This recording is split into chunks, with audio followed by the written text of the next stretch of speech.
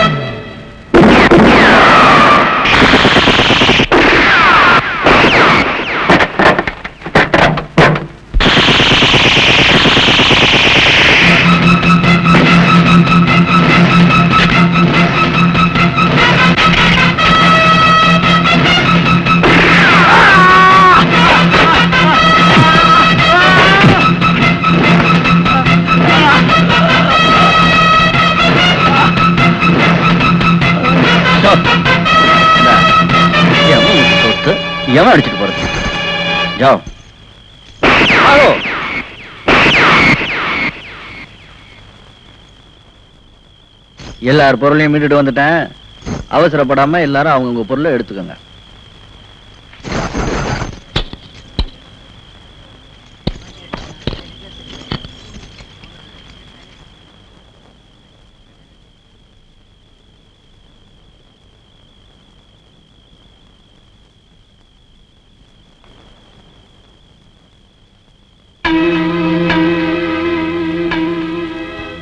என்னமா தேடுற?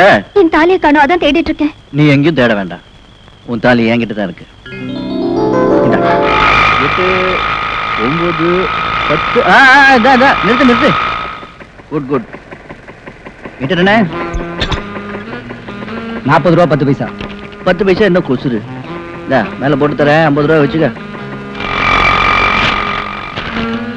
தம்பி ஏப்பா? பாக்குறதுக்கு சினிமா நடிகை மாதிரி லட்சணமா இருக்கிற? ஓ சினிமா நடிகர்கள் இப்படித்தான் இருப்பாங்களா? நான் வேற மாதிரி இருப்பாங்கன்னு நினைச்சேன். கையில இங்கிலீஷ் பேப்பர் வச்சிருக்கேன் ஆனா படிச்ச மாதிரி தெரியலையே. பத்தாம் நம்பர் வீட்டு கேட்ட போய் திறக்கறியா? உனக்கு என்ன பைத்தியமா? சித்தப்பா பதிலே பேச மாட்டேங்கிறான். கன்ஃபார்ம்டு பைத்தியம் தான். நான் கேக்குறேன்னு தப்பா எடுத்துக்காதீங்க. நீங்க ரெண்டு பேரும் எப்படி பைத்தியக்கார ஆஸ்பத்திரியில இருந்து இப்படி ஜட்டி பட்டனோட ஓடி வந்தீங்க? இந்த கோயம்புற ட்ரெஸ் போட்டுட்டு என் கூட வராதேன்னு சொன்னேன் கேட்டியா? நீ இந்த சுடுகாட்டு மண்ட பனியனை போட்டுட்டு வராதுன்னு சொன்ன கேட்டியா? இந்த பையன் என்னையும் ஓ லிட்ல சேர்த்துட்டான். சித்தப்பா சின்னப்பா! ஐயோ ஏன் சார் இப்படி நடு ரோட்ல நின்னு கத்துறீங்க? ஒழுங்கா வீடு போய் சேருங்க. எங்க வீடு ஒன்பதாம் நம்பர் வீடுதான் அதுக்குள்ள எப்படி போகணுங்கிறது எங்களுக்கு தெரியும். நீ பத்தாம் நம்பர் வீட்டுக்குள்ள போற. ஒழுங்கா வீடு போய் சேர மாட்டேன்.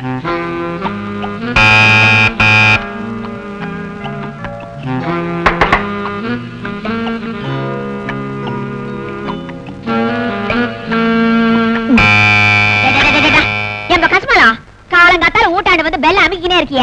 என்னப்பா ஓனா? இந்த வீட்ல ஒரு போர்ஷன் வாடகைக்கு விட போடணும்னு பேப்பர்ல போட்டிருந்தது. அதான் உள்ள வந்து இடத்த பார்க்கலாமா?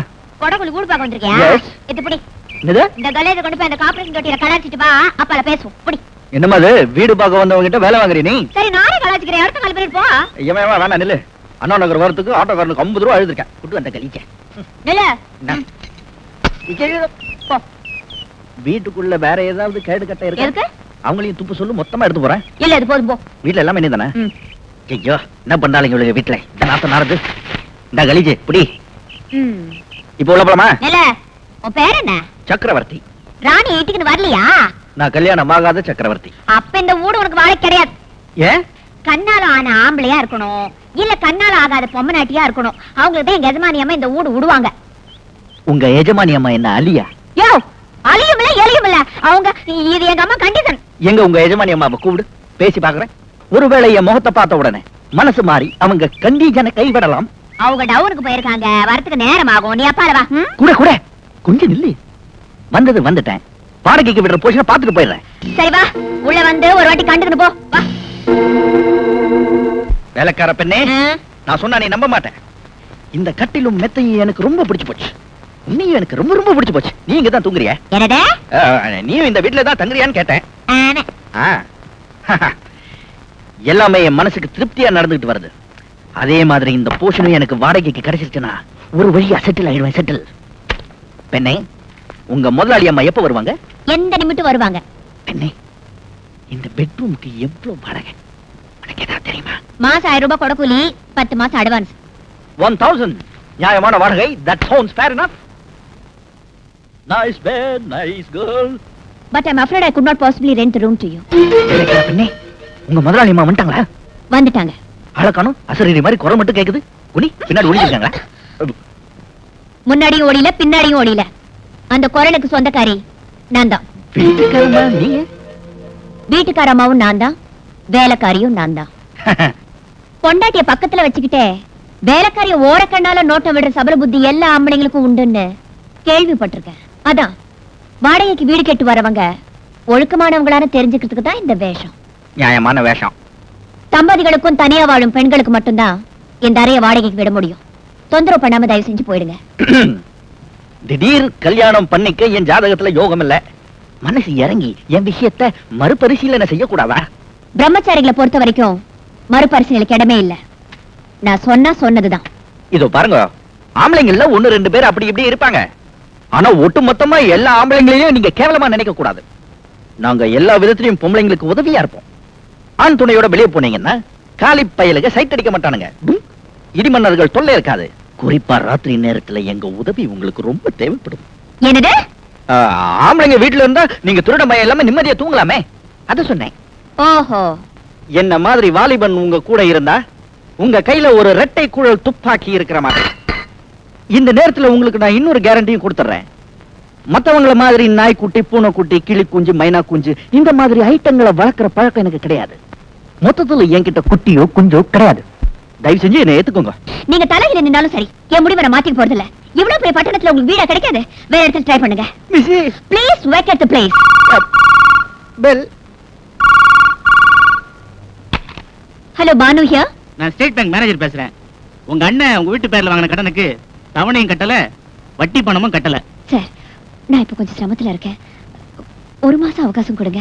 எப்படியாவது வாங்கின தொகைக்கு வட்டியை கட்டிடுறேன். சாரி மிஸ் இன்னும் ஒரு வாரத்துக்குள்ள அட்லீஸ்ட் வட்டி பணம் பதினஞ்சாத்த கட்டினீங்கன்னா வீட்டை ஏலத்துக்கு கொண்டு வராம தடுத்து நிறுத்தலாம்.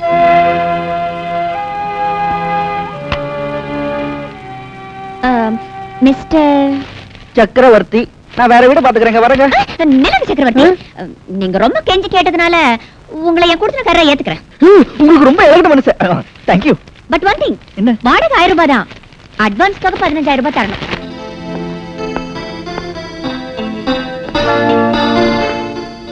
Good morning sir good morning how are mister Chakravarthy fine sir டியூட்டில join பண்ண வந்திருக்கேன். வெரி குட் போலீஸ் ட்ரைனிங் காலேஜ்ல நான் உனக்கு வைஸ் பிரின்சிபாலா இருந்தேன். இப்போ என்கிட்டயே டியூட்டில சேர்றியா கங்க்ராட்ஸ் தேங்க்யூ சார் நாளையில இருந்து யூனிஃபார்ம்ல வர வேண்டாம். மஃப்டில வந்தா போதும். Because we are CID officers yes sir sir வாங்கம்மா என்ன வேணும்? லேட்டஸ்ட் அரைவில் ஏதாவது வந்திருக்கா? லேட்டஸ்ட் அரைவலா அது என்ன ட்ரெயினா பிளைனா ட்ரெயினும் இல்ல பிளேனும் இல்ல. புதுப்பட கேசட் வந்திருக்கான்னு கேட்டேன். ஓ அதுவா? மேல போ கிடைக்கும். புதுசெல்லாம் என் பையன் பாத்துக்கறான். பழச மட்டும் நான் பாத்துக்கறேன். உங்க வயசுக்கு ஏத்த உத்தியோகம். கீப் இட் அப் அடேங்கப்பா. உனக்கு ரொம்ப நீளம் வாய். வணக்கமுங்க வணக்கம் உங்க முங்க. உங்களுக்கு என்ன வேணுமுங்க புதுப்பட கேசட் என்னென்ன இருக்கு? மலர்ந்த மொட்டு மலராத மொட்டு மலர போற மொட்டு. எல்லா கேசட் இருக்குதுங்க. மலர்ந்து மலராத பாதி மட்டும் இருக்கா? பாதி மூட்டா? நான் கேள்விப்பட்டதே இல்லையே. அந்த பேர்ல அப்படி ஒரு படம் வந்திருக்கு. அதனால என்ன? ஆர்டர் பண்ணி அடுத்த வாரம் வாங்கி தர்றேன். இப்ப இருக்கிற கேசட்ல ஏதாவது ஒண்ணு எடுத்துட்டு போங்க. சரி மலர்ந்த முட்டு கேசட் மூணு காப்பி கொடுங்க. ஒரு கேசட்டுக்கு ஒரு நாளைக்கு பத்து ரூபா வாடகை. மூணு கேசட்டுக்கு முப்பது ரூபா. கேசட் கொடுங்க பில்ல போடுங்க. ஐயோ புது மெம்பர்னா ஐநூறு ரூபாய் அட்வான்ஸ் கட்டணும். சொல்ல மறந்துட்டேன். அவ்வளவு பணம் இப்ப கைவசம் இல்லையே. பரவாயில்லைங்க உங்க அட்ரஸ் சொல்லுங்க. நான் நேர்லயே வந்து அட்வான்ஸ் வாங்கிக்கிறேன். அப்படியா? அப்ப ரெண்டு நாள் லீவ் போட்டு வாங்க. ரெண்டு நாள் என்னங்க மூணு நாள் லீவ் போட்டு வரேன். அட்ரஸ் சொல்லுங்க. ஜெகன் மோகினி. நெக்ஸ்ட் நம்பர் பத்து விட்டலாச்சாரியா ரோடு இரண்டாவது குறுக்கு தெரு சென்னை ஒண்ணா ரெண்டா? சென்னை இல்லைங்க ஹைதராபாத் ஒண்ணு? ஹைதராபாத்தா? புது கேசட்ட ஓசியில போடி வந்துட்டு போயிட்டாலே குறுக்கு தெரு மோகினி. மிஸ்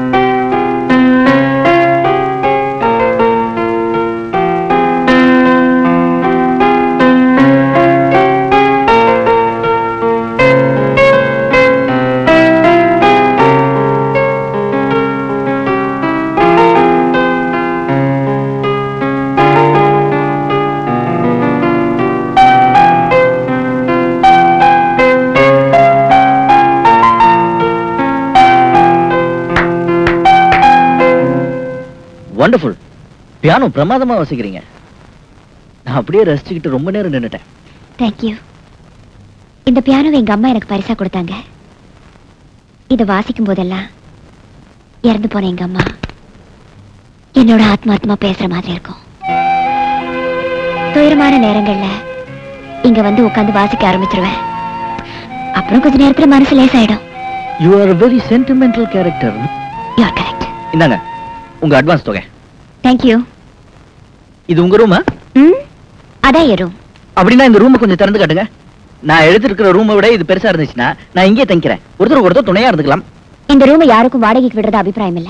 அது திறந்து பார்க்கவும் அனுமதி இல்ல. யாருக்கும் அனுமதி இல்லையா? இந்த ரூமுக்குள்ள அப்படி என்ன ரகசியம் இருக்கு?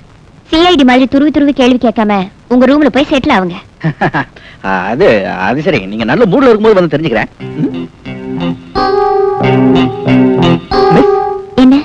இன்னைக்கு ஒரு நாள் டின்னருக்கு என் கூட ஹோட்டலுக்கு வரீங்களா? நம்ம ரெண்டு பேருக்குள்ள ஒண்ணும் சரியான அறிமுகம் கூட ஆகல. அதுக்குள்ள என்ன ஹோட்டலுக்கு கூப்பிடுறீங்களே? உங்க மனசுக்குள்ள என்ன பத்தி என்ன நினைப்பு? பாத்தீங்களா பாத்தீங்களா? அவசரப்பட்டு என்ன பத்தி தப்பா இட போட்டீங்களே? நீங்க இந்த வீட்டு ஓனர் நான் உங்க குடுத்தனக்காரன். நம்ம ரெண்டு பேருக்குள்ள ஒரு இது ஏற்பட வேண்டாமா? எது? ஒரு நல்ல அண்டர்ஸ்டாண்டிங் அதுக்கு இந்த டின்னர் முதற்படியா இருக்கட்டுமே நினைச்சேன். ஓஹோ. அப்ப சாரோட ரெண்டாவது படி என்னவா இருக்கும்? என்னைக்கு நீங்க என்ன டின்னர் கூப்பிடுவீங்கன்னு காத்துட்டு இருக்கிறதான் ஓகே நாளைக்கு நீங்க என்னோட டின்னர் சாப்பிடுறதா இருந்தா இன்னைக்கு உங்க இன்விடேஷன் ஏத்துக்கிறேன். அக்ரீட் லெட்ஸ் கோ கீழே வெயிட் பண்ணுங்க. நான் ட்ரெஸ் பண்ணிட்டு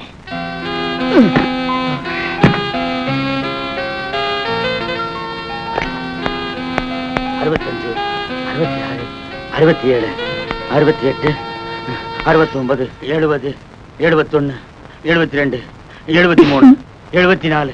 சின்னப்பா! இனிமே என்னால உச்சி போட முடியாது. முட்டி கண்டு போச்சு.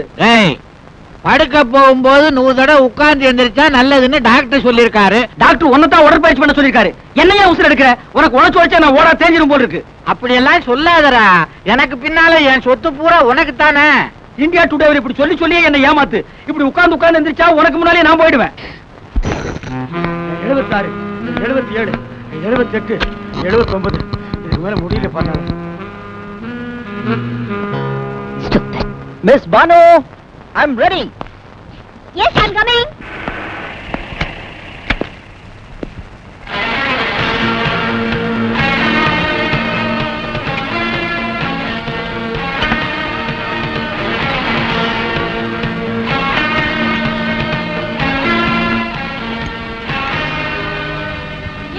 number one அயோக்கிய ராஸ்கல் என்னங்க?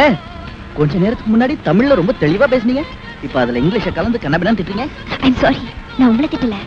உங்க வலது பக்கம் திரும்பி பாருங்க. நான் யாரை திட்டினேன்னு உங்களுக்கு புரியும்.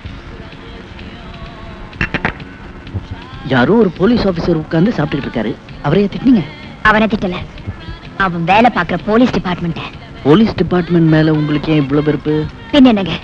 குற்றவாளிகளோட கை குலுக்குவானுங்க. நிரபராதி கையில விலக மாட்டுவானுங்க. காலையில வந்தீங்க.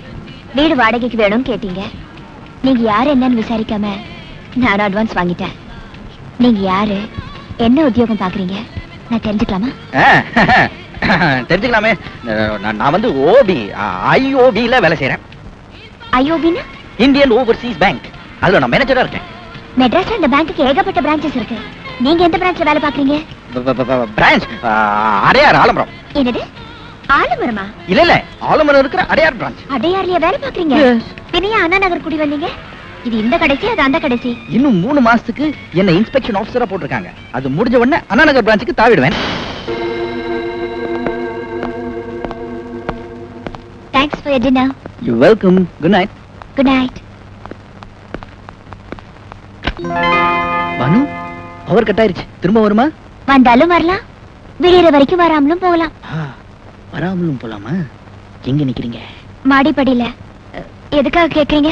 இதெல்லாம் சத்தம் போட்டு பேசுற விஷயம் இல்ல. பக்கத்துல வாங்க காதோடு காதா சொல்றேன். வாட் அட பாவி உன் கேட்டது இப்பதான் எனக்கு புரியுது. பவர் கட்டை பயன்படுத்திய மேல எங்கேயாவது கை வச்ச ஓடு கத்தி ஊரு கூட்டிடுவேன். ஐயோ அப்படியெல்லாம் எதுவும் செஞ்சிடாதீங்க. நான் அதுக்காக கூப்பிடல. என்ன எதுக்காக? இருட்டில் நிக்கிறதுக்கு எனக்கு ரொம்ப பயமா இருக்குங்க. பயப்படாதீங்க. வீட்டுல மெழுகுவத்தி ஸ்டாண்ட் இருக்கு. கரண்ட் வர்ற வரைக்கும் அதை ஏத்தி வைக்கலாம். சீக்கிரம் ஏத்துங்க. இருட்டுல உடம்பெல்லாம் குப்புன்னு வேர்க்குது. அந்த ஸ்டாண்ட் மேல என் பெட்ரூம்ல இருக்கு. நீங்க போய் எடுத்துட்டு வாங்க. என்ன இது? இன்னைக்கு காலையில தான் உங்க வீட்டுக்கு கூடி வந்தேன். திடீர்னு என்ன கூப்பிட்டு மாடி ஏற சொல்றீங்க? இந்த கும் இருட்டுல நான் கண்ணு தெரியாம எது மேலேயாவது மோதிர போறேன். ஒண்ணு செய்யுங்க. நீங்களே மாடிக்கு போய் அதை எடுத்துட்டு வந்திருக்கேன். நான் மாடிக்கு போக மாட்டேன். கர்ப்பம்பூச்சி நிறைய இருக்கு. தைரியம் புருஷ லட்சணம்.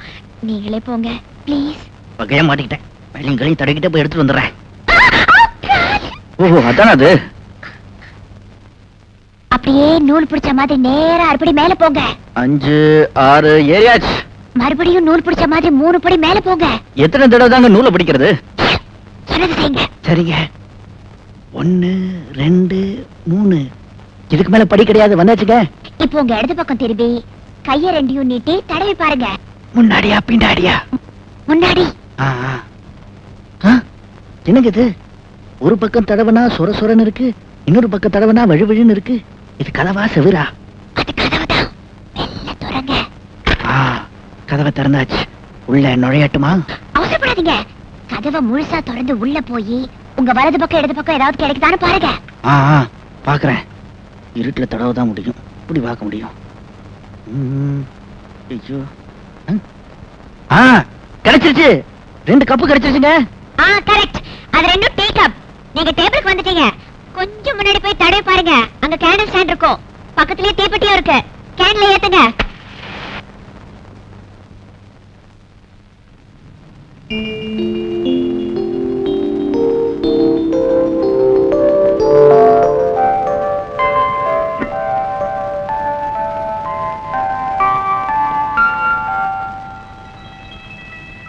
அப்பா ஒரு வழியா மெழுகுவத்தி ஏத்தியாச்சு. இந்த சேனல் எப்படி ஜொலிக்குது? அவ்வளவு தங்கமா? இல்ல தங்கமுலாம் பூசின வெள்ளி ஸ்டாண்ட். எங்க வாங்குனீங்க? இது விலைக்கு வாங்கினது இல்ல ஒரு பாதிரியார் எங்க அப்பாவுக்கு பரிசா கொடுத்தது. அவரோட நினைவா எங்க அப்பா இது ஒரு புனிதமான பொருளா சாகுற வரைக்கும் பாதுகாத்து வந்தாரு. இப்ப எங்க அப்பா ஞாபகமா நான் இதை பத்திரமா வச்சிருக்கேன். ஓஹோ சென்டிமெண்டல் ஸ்டாண்டோ கரண்ட் வந்துருச்சு. கேன்ல ஆஃப் பண்ணிட்டு போய் மேல வச்சுட்டு வாங்க. ஐயோ வேணாங்க மறுபடியும் கரண்ட் கட் ஆச்சுன்னா நான் தான் மாட்டிப்பேன். இந்த வம்பே வேண்டாம். பிடிக்கும்? Good morning sir good morning meet mister Pradeep inspector நம்ம டிபார்ட்மெண்ட் தான். Is mister Chakravarthy hello hello Chakravarthy thank you sir நேத்து காலையில நம்பர் பத்து சாந்தி காலனிக்கு நீ போயிருந்திருக்க. எதுக்காக போயிருந்தேன் நான் தெரிஞ்சுக்கலாமா? அந்த வீட்ல ஒரு போர்ஷன் வாடகைக்கு விடப்படும்னு விளம்பரம் வந்திருந்தது. அது விஷயமா போனேன். வீடு கிடைச்சதா? கிடைச்சது சார் இப்போ நான் அங்க தான் தங்கியிருக்கேன். நேத்து ராத்திரியே அந்த பெண்ணை ஹோட்டல் பேரடைத்துக்கு கூட்டிட்டு போயிருக்கிற. ஓர் செலவுல அவளுக்கு விருந்து கொடுத்துருக்கிற நம்ம கரெக்ட் கரெக்ட் சார் முன்ன பின்ன அறிமுகம் இல்லாத ஒரு பெண்ணுக்கு விருந்து கொடுத்துருக்கிற. இந்த திடீர் நெருக்கத்துக்கு என்ன காரணம்? குறிப்பிட்டு சொல்ற மாதிரி ஒரு காரணமும் இல்லை. சும்மா ஒரு நட்புக்காக. உன்ன மாதிரி ஒரு போலீஸ் அதிகாரிக்கு ஒரு கொலைகாரியுடைய நட்பு தேவைதானா? போயும் போயும் குடியிருக்கிறதுக்கு உனக்கு அவ வீடு தான் கிடைச்சதா? சார் கொஞ்சம் புரியும்படி சொல்லுங்க. சொல்றேன். நீ குடியிருக்கிற வீட்டுக்கு சொந்தக்காரி மாடல் அழகி பானு ஆறு மாசத்துக்கு முன்னால அவளுடைய மாற்றாந்தாய்க்கு பிறந்த அண்ணனை சுட்டு கொன்னுட்டா. சார், இந்த கேஸ விசாரிச்ச அதிகாரி அந்த பத்தாம் நம்பர் வீட்டை சுத்தி இருக்கிற குடுத்தனக்காரங்கள் எல்லாம் தீர விசாரிச்சிருக்காரு. குறிப்பா ஒன்பதாம் நம்பர் வீட்டில் இருக்கிற எத்ராஜ் என்பவர் இந்த கொலை சம்பந்தமா நம்ம டிபார்ட்மெண்ட்டுக்கு ஒரு ஸ்டேட்மெண்ட் கொடுத்திருக்காரு. அந்த ஸ்டேட்மெண்ட் இப்ப நான் படிக்கிறேன் கேடு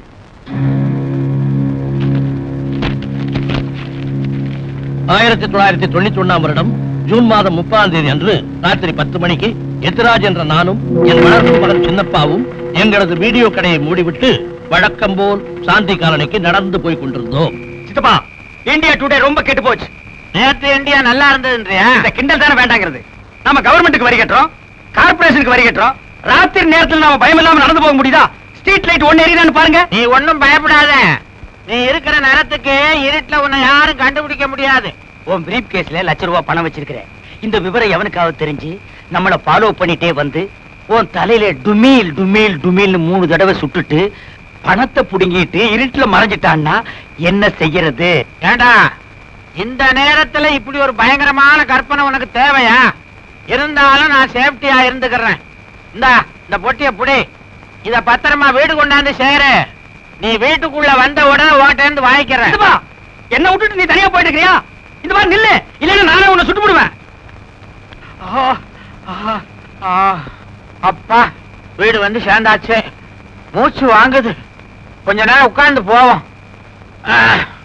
அம்மா இனிமே டுமில் சத்தம் கேட்காது. அப்பா! என்ன சார் என்னாச்சு? ஐயோ யாரோ சுட்டாங்களே? டெஞ்சில குண்டு பாய்ச்சிருச்சு அது சித்தப்பா என்ன உடம்புல ரத்தம்? உனக்கு என்னாச்சு? யாரோ சுட்டாங்கடா. சுட்டுட்டாங்களா. உண்மையிலே நீ போயிட்டியா? அப்பா யோ என்ன அப்புறமான சேர்ந்து நானும் வர்றீங்க? யார் சுட்டது யார் போனது? அறிவட்டவன கல்லு மாதிரி உட்கார்ந்துருக்க செத்து தெரியலையா? இந்த மாதிரி கொட்டுது. ரத்தம். உன் பக்கத்துல சிகப்பு கொட்டி கிடக்குது. அதுல கைய வச்சுட்டு நீயே உடம்பு பூரா தடவிக்கிட்டு ஏன் கூச்சல் போட்டு ஊற கூட்டுற? அடே ஆமா. குண்டு பட்டிருந்தா சட்டையில தொலை போட்டிருக்குமே நல்லா தானே இருக்கு? ஆனா துப்பாக்கி சத்தம் கேட்டுச்சுடா. ஆமாங்க துப்பாக்கி சத்தம் கேட்டுதான் நாங்களும் ஓடி வந்தோம்.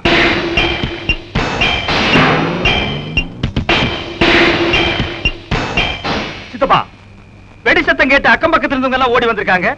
இந்த பத்தாம் நம்பர் வீட்டு கதவு மட்டும் சாத்தி இருக்கு. ஆனா மாடியில் லைட் எரியுது. இவ்வளவு கலவரம் நடந்திருக்கு. ஆனா இந்த வீட்டுல இருந்து மட்டும் யாரும் வெளியே வரல. கரெக்ட் இந்த வீட்டுல தான் துப்பாக்கி குண்டு வெடிச்சிருக்கு. நீ போய் கதவை தட்டு. யாராவது வர்றாங்களா பாரு. யூ ஆர் கரெக்ட் சித்தப்பா. பானு பூபாதி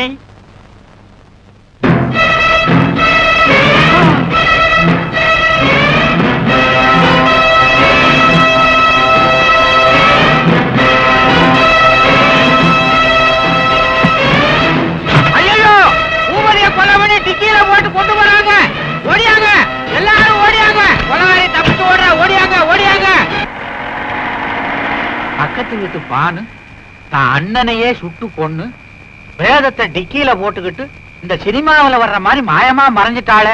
சம்பவம் நடந்த பத்து நிமிஷத்துக்குள்ள போலீஸ் அதிகாரிங்க பானு வீட்டுக்கு போயிட்டாங்க.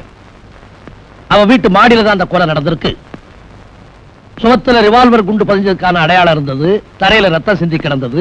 ஆனா சுட்டுக் கொல்லப்பட்ட பானுடைய அண்ணன் பூபதியுடைய சடலமும் நமக்கு கிடைக்கல. அந்த நேரத்துல நம்ம விசாரணைக்கு பானுவும் வீட்டில் இல்லை. அந்த வீட்டினுடைய கொல்லப்புறத்துல போலீஸ் அதிகாரிங்க மூணு பொய்ப்பல்ல கண்டெடுத்தாங்க. அந்த மூணு பொய்ப்பல்லையும் பானுடைய அண்ணன் பூபதிக்காக நான் தான் கட்டி கொடுத்தேன்னு ஒரு பல் டாக்டர் போலீஸ் அதிகாரிகிட்ட உறுதிப்படுத்தி இருக்கார் மறுநாள் காலையில அஞ்சு மணிக்கு தான் பானு அவ வீட்டுக்கு வந்தா. கொலை நடந்த நேரத்துல நீ எங்க இருந்தேன்னு போலீஸ்காரன் கேட்டாங்க. அதுக்கு அவ சாதுரியமா ஒரு பதில் சொன்னா அவ என்ன சொன்னா தெரியுமா? அன்னைக்கு வைகுண்ட ஏகாதசி சாமி தரிசனம் பண்றதுக்காக சாயந்தரம் ஆறு மணிக்கே கோயிலுக்கு போயிட்டேன். ஏகப்பட்ட கூட்டம். பன்னெண்டு மணிக்கு தான் சொர்க்கவாசலை திறந்தாங்க.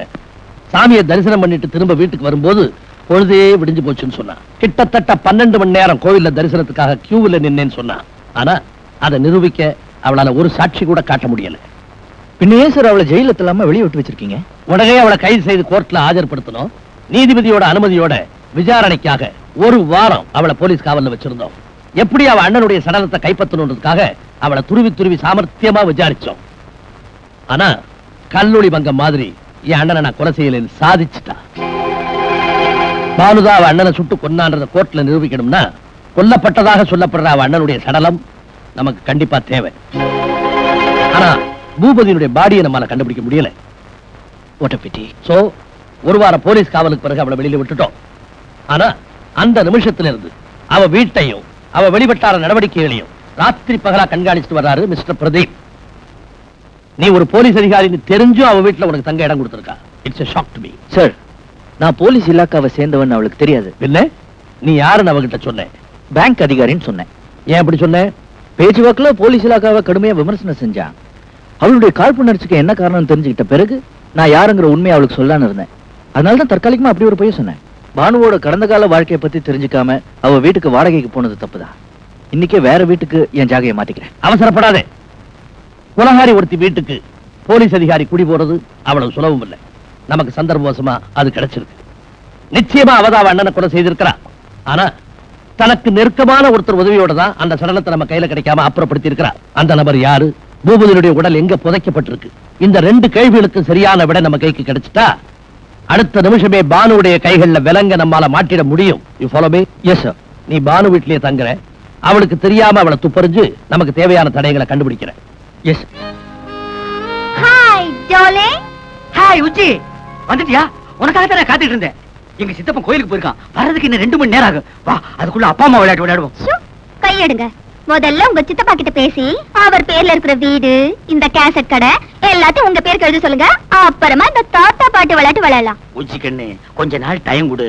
எங்க சித்தப்பங்கிட்ட நைஸா பேசி என் பேருக்கு இந்த சொத்தெல்லாம் எழுதி வாங்கிக்கிறேன்.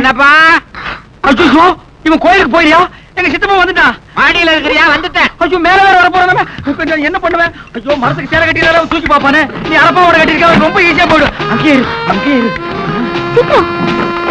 சித்தப்பா அங்கேயே இல்லைங்க உடம்புல உங்களுக்கு ஆயிரம் வியாதி இருக்கு. மாடிப்படி நீங்க ஏறக்கூடாது. உங்களுக்கு என்ன வேணும் சொல்லுங்க நானே எடுத்து. நான் தாண்டா எடுக்கணும். சித்தப்பா விபரீதம் நடந்துரும். அது எதுக்கு நடக்குது? உங்க உடம்பு விபரீதமாகி போயிடும்னு சொல்றேன். அத பத்தி நீ கவலைப்படாத. சித்தப்பா! அட வியாதிய பார்த்தா வியாபாரம் பண்ண முடியுமா? முக்கியமான கேசட்டுகள் தேவைப்படுது. அத வச்ச இடம் எனக்கு தான் தெரியும். நான் தான் எடுக்கணும். கொஞ்சம் விலகு. கிடைச்சிருச்சு. சித்தப்பா சித்தப்பா என்ன என்ன? கண்டிப்பா அந்த இடத்துல இருக்காது. என்னடா இது? நான் வச்சவன் எனக்கு தெரியாதா? அதுல இருக்காதுன்னு நீ எப்படி சொல்ற? சித்தப்பா என்னடா வித்த காட்டுற?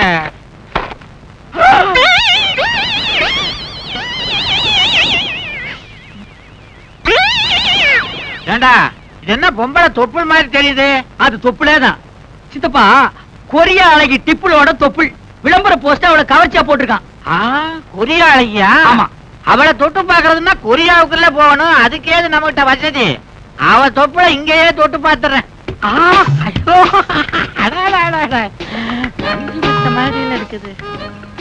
என்னடா இது பேப்பர் தொப்புலன்ற நெளியுது அது சைனா பேப்பர் ஆயில் பிரிண்ட் அப்படித்தான் இருக்கும். அப்பா. நெளிய நெளிய தடைகிட்டே இருக்கலாம் போல இருக்குது.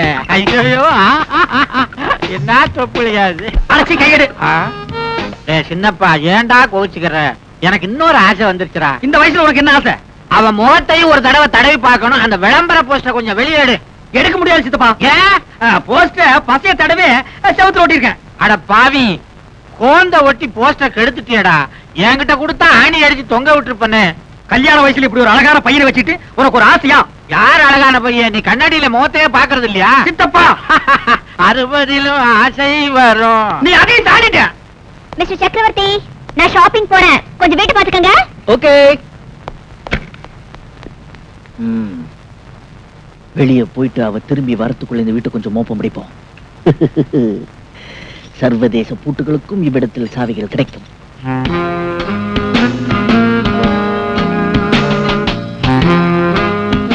இது நெக்ஸ்ட் மர்ம ரூம முதல்ல பார்ப்போம். வெரி சிம்பிள் வெரி சிம்பிள் ஐயோ ஏமாதிரிச்சே ஆ. என்ன ஒரே கபு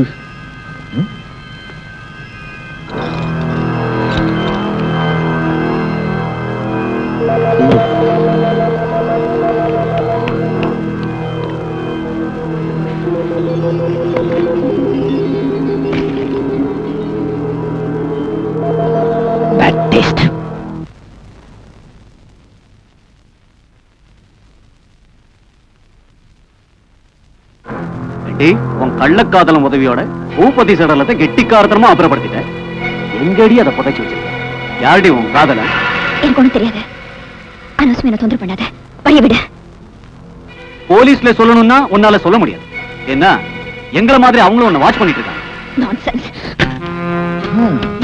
நல்லா இருக்கு இந்த ரூம் இதை நமக்கு வாடகைக்கு விட்டுருக்கலாம். மைண்ட்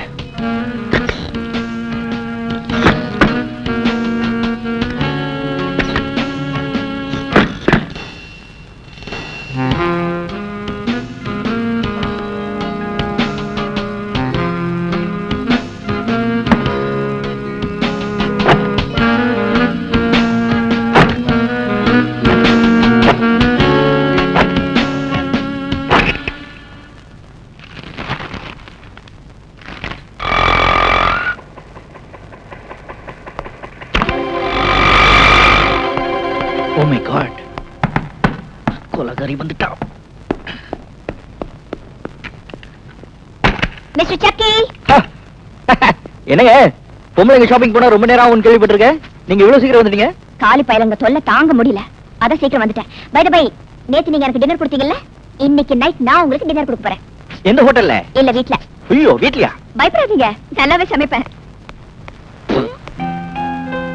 எங்க அப்பா ஒரு ராணுவ அதிகாரி. அவருக்கு கல்யாணமாய் பூபதின்னு ஒரு மகன் பிறந்தான். அவனுக்கு அஞ்சு வயசு இருக்கும்போது அவங்க அம்மா இறந்துட்டாங்க. அவனை வளர்க்கறதுக்கு ஒரு தாய் வேணுங்கிற எண்ணத்துல எங்க அப்பா எங்க அம்மா ரெண்டாந்தரமா கட்டிக்கிட்டாரு. ரெண்டு வருஷம் கழிச்சு நான் பிறந்தேன். பூபதி தாயில்லாத பிள்ளைங்கிறதுனால எங்க அம்மா அவன் மேல அலாதி பிரியம் வச்சிருந்தாங்க. நானும் அவனை கூட பிறந்த அண்ணனா நினைச்சு பாசத்தோட பழகினேன். ஆனா எங்க அண்ணன் என்னையும் எங்க அம்மாவையும் விதர்ப்பமா நினைச்சு விரோதிகளை மாதிரி பார்த்தான். எனக்கு பதினஞ்சு வயசு இருக்கும்போது எங்க அம்மா காலம் மரணம் அடைஞ்சிட்டாங்க. எங்க அப்பா ராணுவத்துல இருந்து கட்டாய ஓய்வு வாங்கிக்கிட்டு எங்களோடவே வந்து தங்கிட்டாரு. முத்தி போற புத்துநோய் மாதிரி பூபதி கெட்ட நடவடிக்கைகளின் உச்சகட்டத்துக்கே போயிட்டான் மனம் நொந்து போன எங்க அப்பா. ஒரு காலகட்டத்துல அவனை தன் பிள்ளை இல்லைன்னு கை கழுவிட்டாரு. பிற்காலத்துல எனக்கு ஒரு பிடிமானம் வேணுங்கிற நினைப்புல எனக்கு தெரியாம இந்த வீட்டை எங்க அப்பா என் பேர்ல எழுதி வச்சிட்டாரு. ரெண்டு வருஷத்துக்கு முன்னாடி எங்க அப்பா இறந்துட்டாரு. வீடு என் பேர்ல இருக்குங்கிற விவரம் தெரிஞ்ச உடனே எங்க அண்ணன் பூபதி இந்த வீட்டை தன் பேர்ல மாத்தி கொடுன்னு என்ன பல தடவை வற்புறுத்தினா ஒழுக்கம் கிட்ட வாழ்க்கையை விட்டுட்டு நிரந்தரமா ஒரு உத்தியோகத்துல உட்காரு. நானே உனக்கு ஒரு நல்ல பொண்ணை தேடி பிடிச்சு கல்யாணம் பண்ணி வைக்கிறேன். இந்த வீட்டையும் உன் பேர்ல எழுதி வச்சுட்டு நான் எங்கேயாவது போய் நேர்மையை ஒழிச்சு பொழிச்சுக்கிறேன்னு எவ்வளவோ எடுத்து சொன்னேன் அவன் என்ன நம்பல. எனக்கு யாரோ கள்ளக்காதல் இருக்கிறதாகவும் அதனாலதான் நான் சாக்கு போக்கு சொல்லி தட்டி கழிக்கிறதாகவும் குடிச்சிட்டு வந்து என் கூட அடிக்கடி சண்டை போடுவான். சில சமயம் பக்கத்து வீட்டுக்காரங்க பஞ்சாயத்துக்கு வருவாங்க. நாங்க ரெண்டு பேரும் சண்டை போட்டுக்கிட்டு ரெண்டு மூணு தடவை போலீஸ் ஸ்டேஷன் வரைக்கும் போயிருக்கோம். திடீர்னு ஒரு நாள் எங்க அண்ணனை நானே சுட்டு கொண்டுட்டேன்னு போலீஸ்காரங்க என்ன அரெஸ்ட் பண்ணிட்டாங்க. ஆனா உங்களால என் மேல கோர்ட்ல குற்றப்பத்திரிக்கை தாக்கல் செய்ய முடியல. பூபதியை நான் சுட்டு கொண்டுட்டு போலீஸ்காரங்க சொன்னாங்க. ஆனா அதை நிரூபிக்கிறதுக்கு அவனோட பிரேதம் வேணுமே. என்னைக்கு உங்க அண்ணனோட டெட் பாடியை போலீஸ்காரங்க கைப்பற்றுறாங்களோ அன்னைக்கு நீங்க கைதாகலாம். அப்படிதானே? அத்தைக்கு மேசு முளைக்கட்டும். அப்புறம் பார்க்கலாம். அப்பா! சித்தப்பா தூக்க மாத்திரையை போட்டுட்டு பேக்ரவுண்ட் மியூசிக் கூட தூங்கிட்டு இருக்கான். இந்த கேசட்ல அகில உலக கவர்ச்சி சீன்கள் அத்தனை இருக்கு. இன்னைக்கு எல்லாத்தையும் மொத்தமா பாத்திர வேண்டியதான்ப்பா. அகில உலக கவர்ச்சி கண்ணிகளே குறைஞ்ச ட்ரெஸ்ல நெஞ்ச நிமிந்து வாங்க. யூ,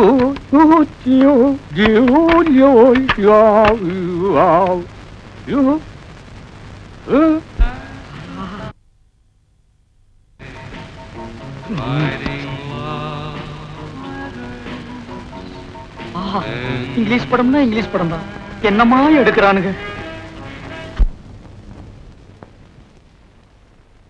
உஜாலா! விடமாட்டேன்.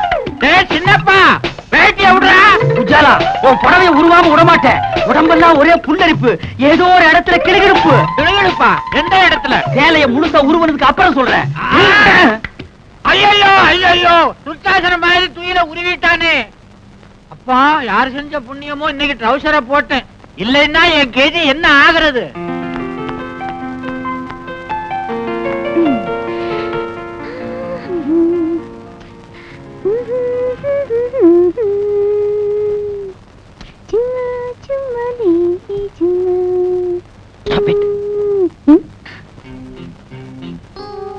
பானு நான் ஒன்னு கேட்டா தருவீங்களா? கேளுங்க. தரக்கூடியதா இருந்தா தரேன். உங்ககிட்ட இல்லாததையே நான் கேட்டு போறேன். நீங்க நினைச்சா உடனே தரலாம். என்ன? பேடிக பலமா இருக்கு? கேளுங்க. கொஞ்சம் இருங்க. கதவை சாத்திட்டு வந்துடுறேன்.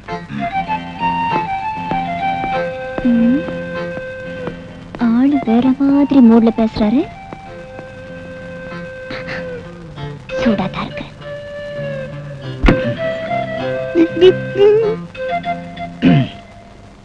கொடுங்க. என்ன கொடுங்க? உங்க கையில இருக்கிற இஸ்திரி பெட்டியை கொடுங்க. எது கேக்குறீங்க? தேய்க்கிறதுக்கு. எதை தேய்க்கிறதுக்கு? உங்க உருப்படியை தேய்க்கிறதுக்கு. என்னங்க இது? நீங்க ஒரு ஆம்பளை ஒரு பொம்பளை துணியை போய் தேய்க்கிறேன்னு சொல்றீங்களே யாராவது பார்த்தா அசிங்கமா இருக்கும். அதுக்காக தான் கதவை சாத்திட்டு வந்துட்டேன். ஐயோ வேணாங்க. நீங்க தேய்க்கிறது பார்த்தா எனக்கு என்னமோ மாதிரி இருக்கும். ஐயோ என்னங்க இது? என் ஜட்டில இருந்து சகல துணிமணிகளையும் துவைச்சு கொடுத்துருக்கீங்க? அது கை மாற உங்க துணிகளை தேய்ச்சு கொடுக்குறேன். பெட்டி கொடுங்க. நான் உங்ககிட்ட எந்த கைமாறும் எதிர்பார்க்கல. நானே தேய்ச்சுக்கிறேன் பேசாம உங்க ரூமுக்கு போங்க. நீங்க என்ன சொன்னாலும் சரி உங்க உருப்படிகளை தேய்ச்சு கொடுக்காம இந்த இடத்த விட்டு நகர மாட்டேன். அடம் பிடிக்காம அந்த அயன் பாக்ஸ் என் கையில கொடுங்க. ஏன் இப்படி அடம் பிடிக்கிறீங்க? பிடிங்க. தேங்க்யூ நீங்க போயிட்டு வாங்க.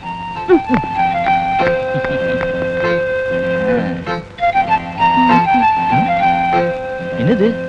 எந்த பக்கம் திரும்பினாலும் ஒரே மடிப்படிப்பா இருக்கு? எங்க பொட்டி வைக்கிறது? எப்படி தைக்கிறது சரி ஆண்டவன் மேல பாரத்தை போட்டு தேய்க்க ஆரம்பிப்போம்.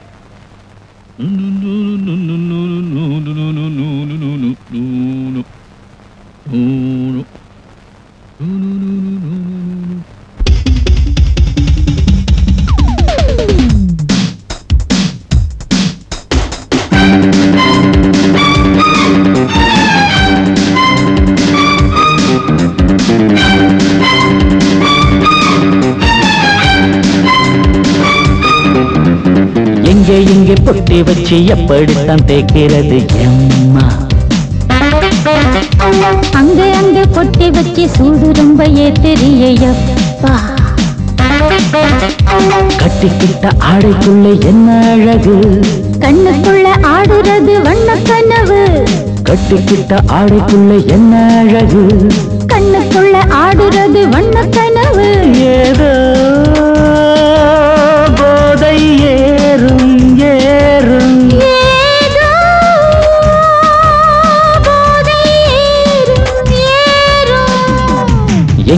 எங்கே பொட்டி வச்சு எப்படித்தான் தேய்க்கிறது எம்மா அங்கே அங்கே பொட்டி வச்சு சூடு ரொம்ப ஏத்தறியப்பா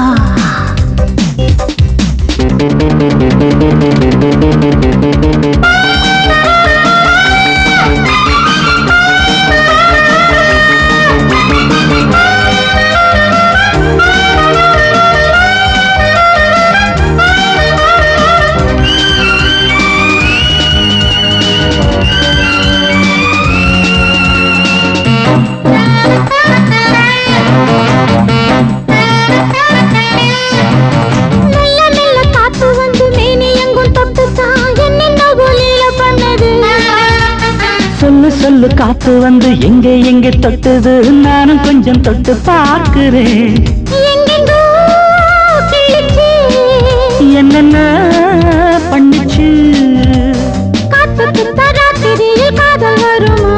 நான் இருக்கேன் பார்த்து படு. நல்ல கதை தள்ளிப்படு. எங்கே எங்கே பொட்டி வச்சு எப்படித்தான் தேய்க்கிறது எம்மா அங்கே அங்கே பொட்டி வச்சு சூடு ரொம்ப ஏத்தெரியப்பா ஆஹா, ஆ. முத்து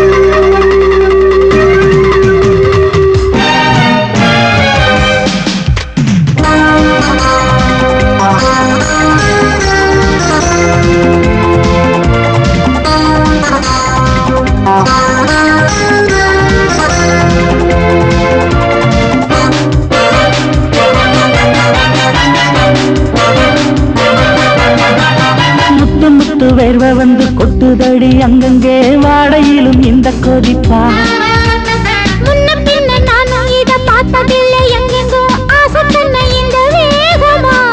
பட்டுப்பூ வந்துச்சான் உச்சி முதல் பாதம் வரை முத்தம் பதிக்க. ஆடைகளை ஆட விடு எங்கே எங்கே பொட்டி வச்சு எப்படித்தான் தேய்க்கிறது எம்மா? அங்க அங்க பொட்டு வச்சு சூடு ரொம்ப ஏத்தெரியப்பா கட்டிக்கிட்ட ஆடைக்குள்ள என்ன அழகு? கண்ணுக்குள்ள ஆடுறது வண்ணக்கனவு கட்டிக்கிட்ட ஆடைக்குள்ள என்ன அழகு? கண்ணுக்குள்ள ஆடுறது வண்ணக்கனவு ஏதோ போதை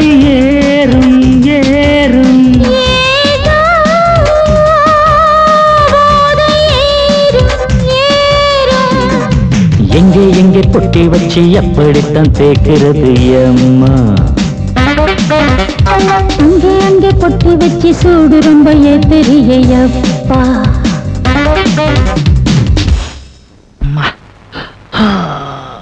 என்ன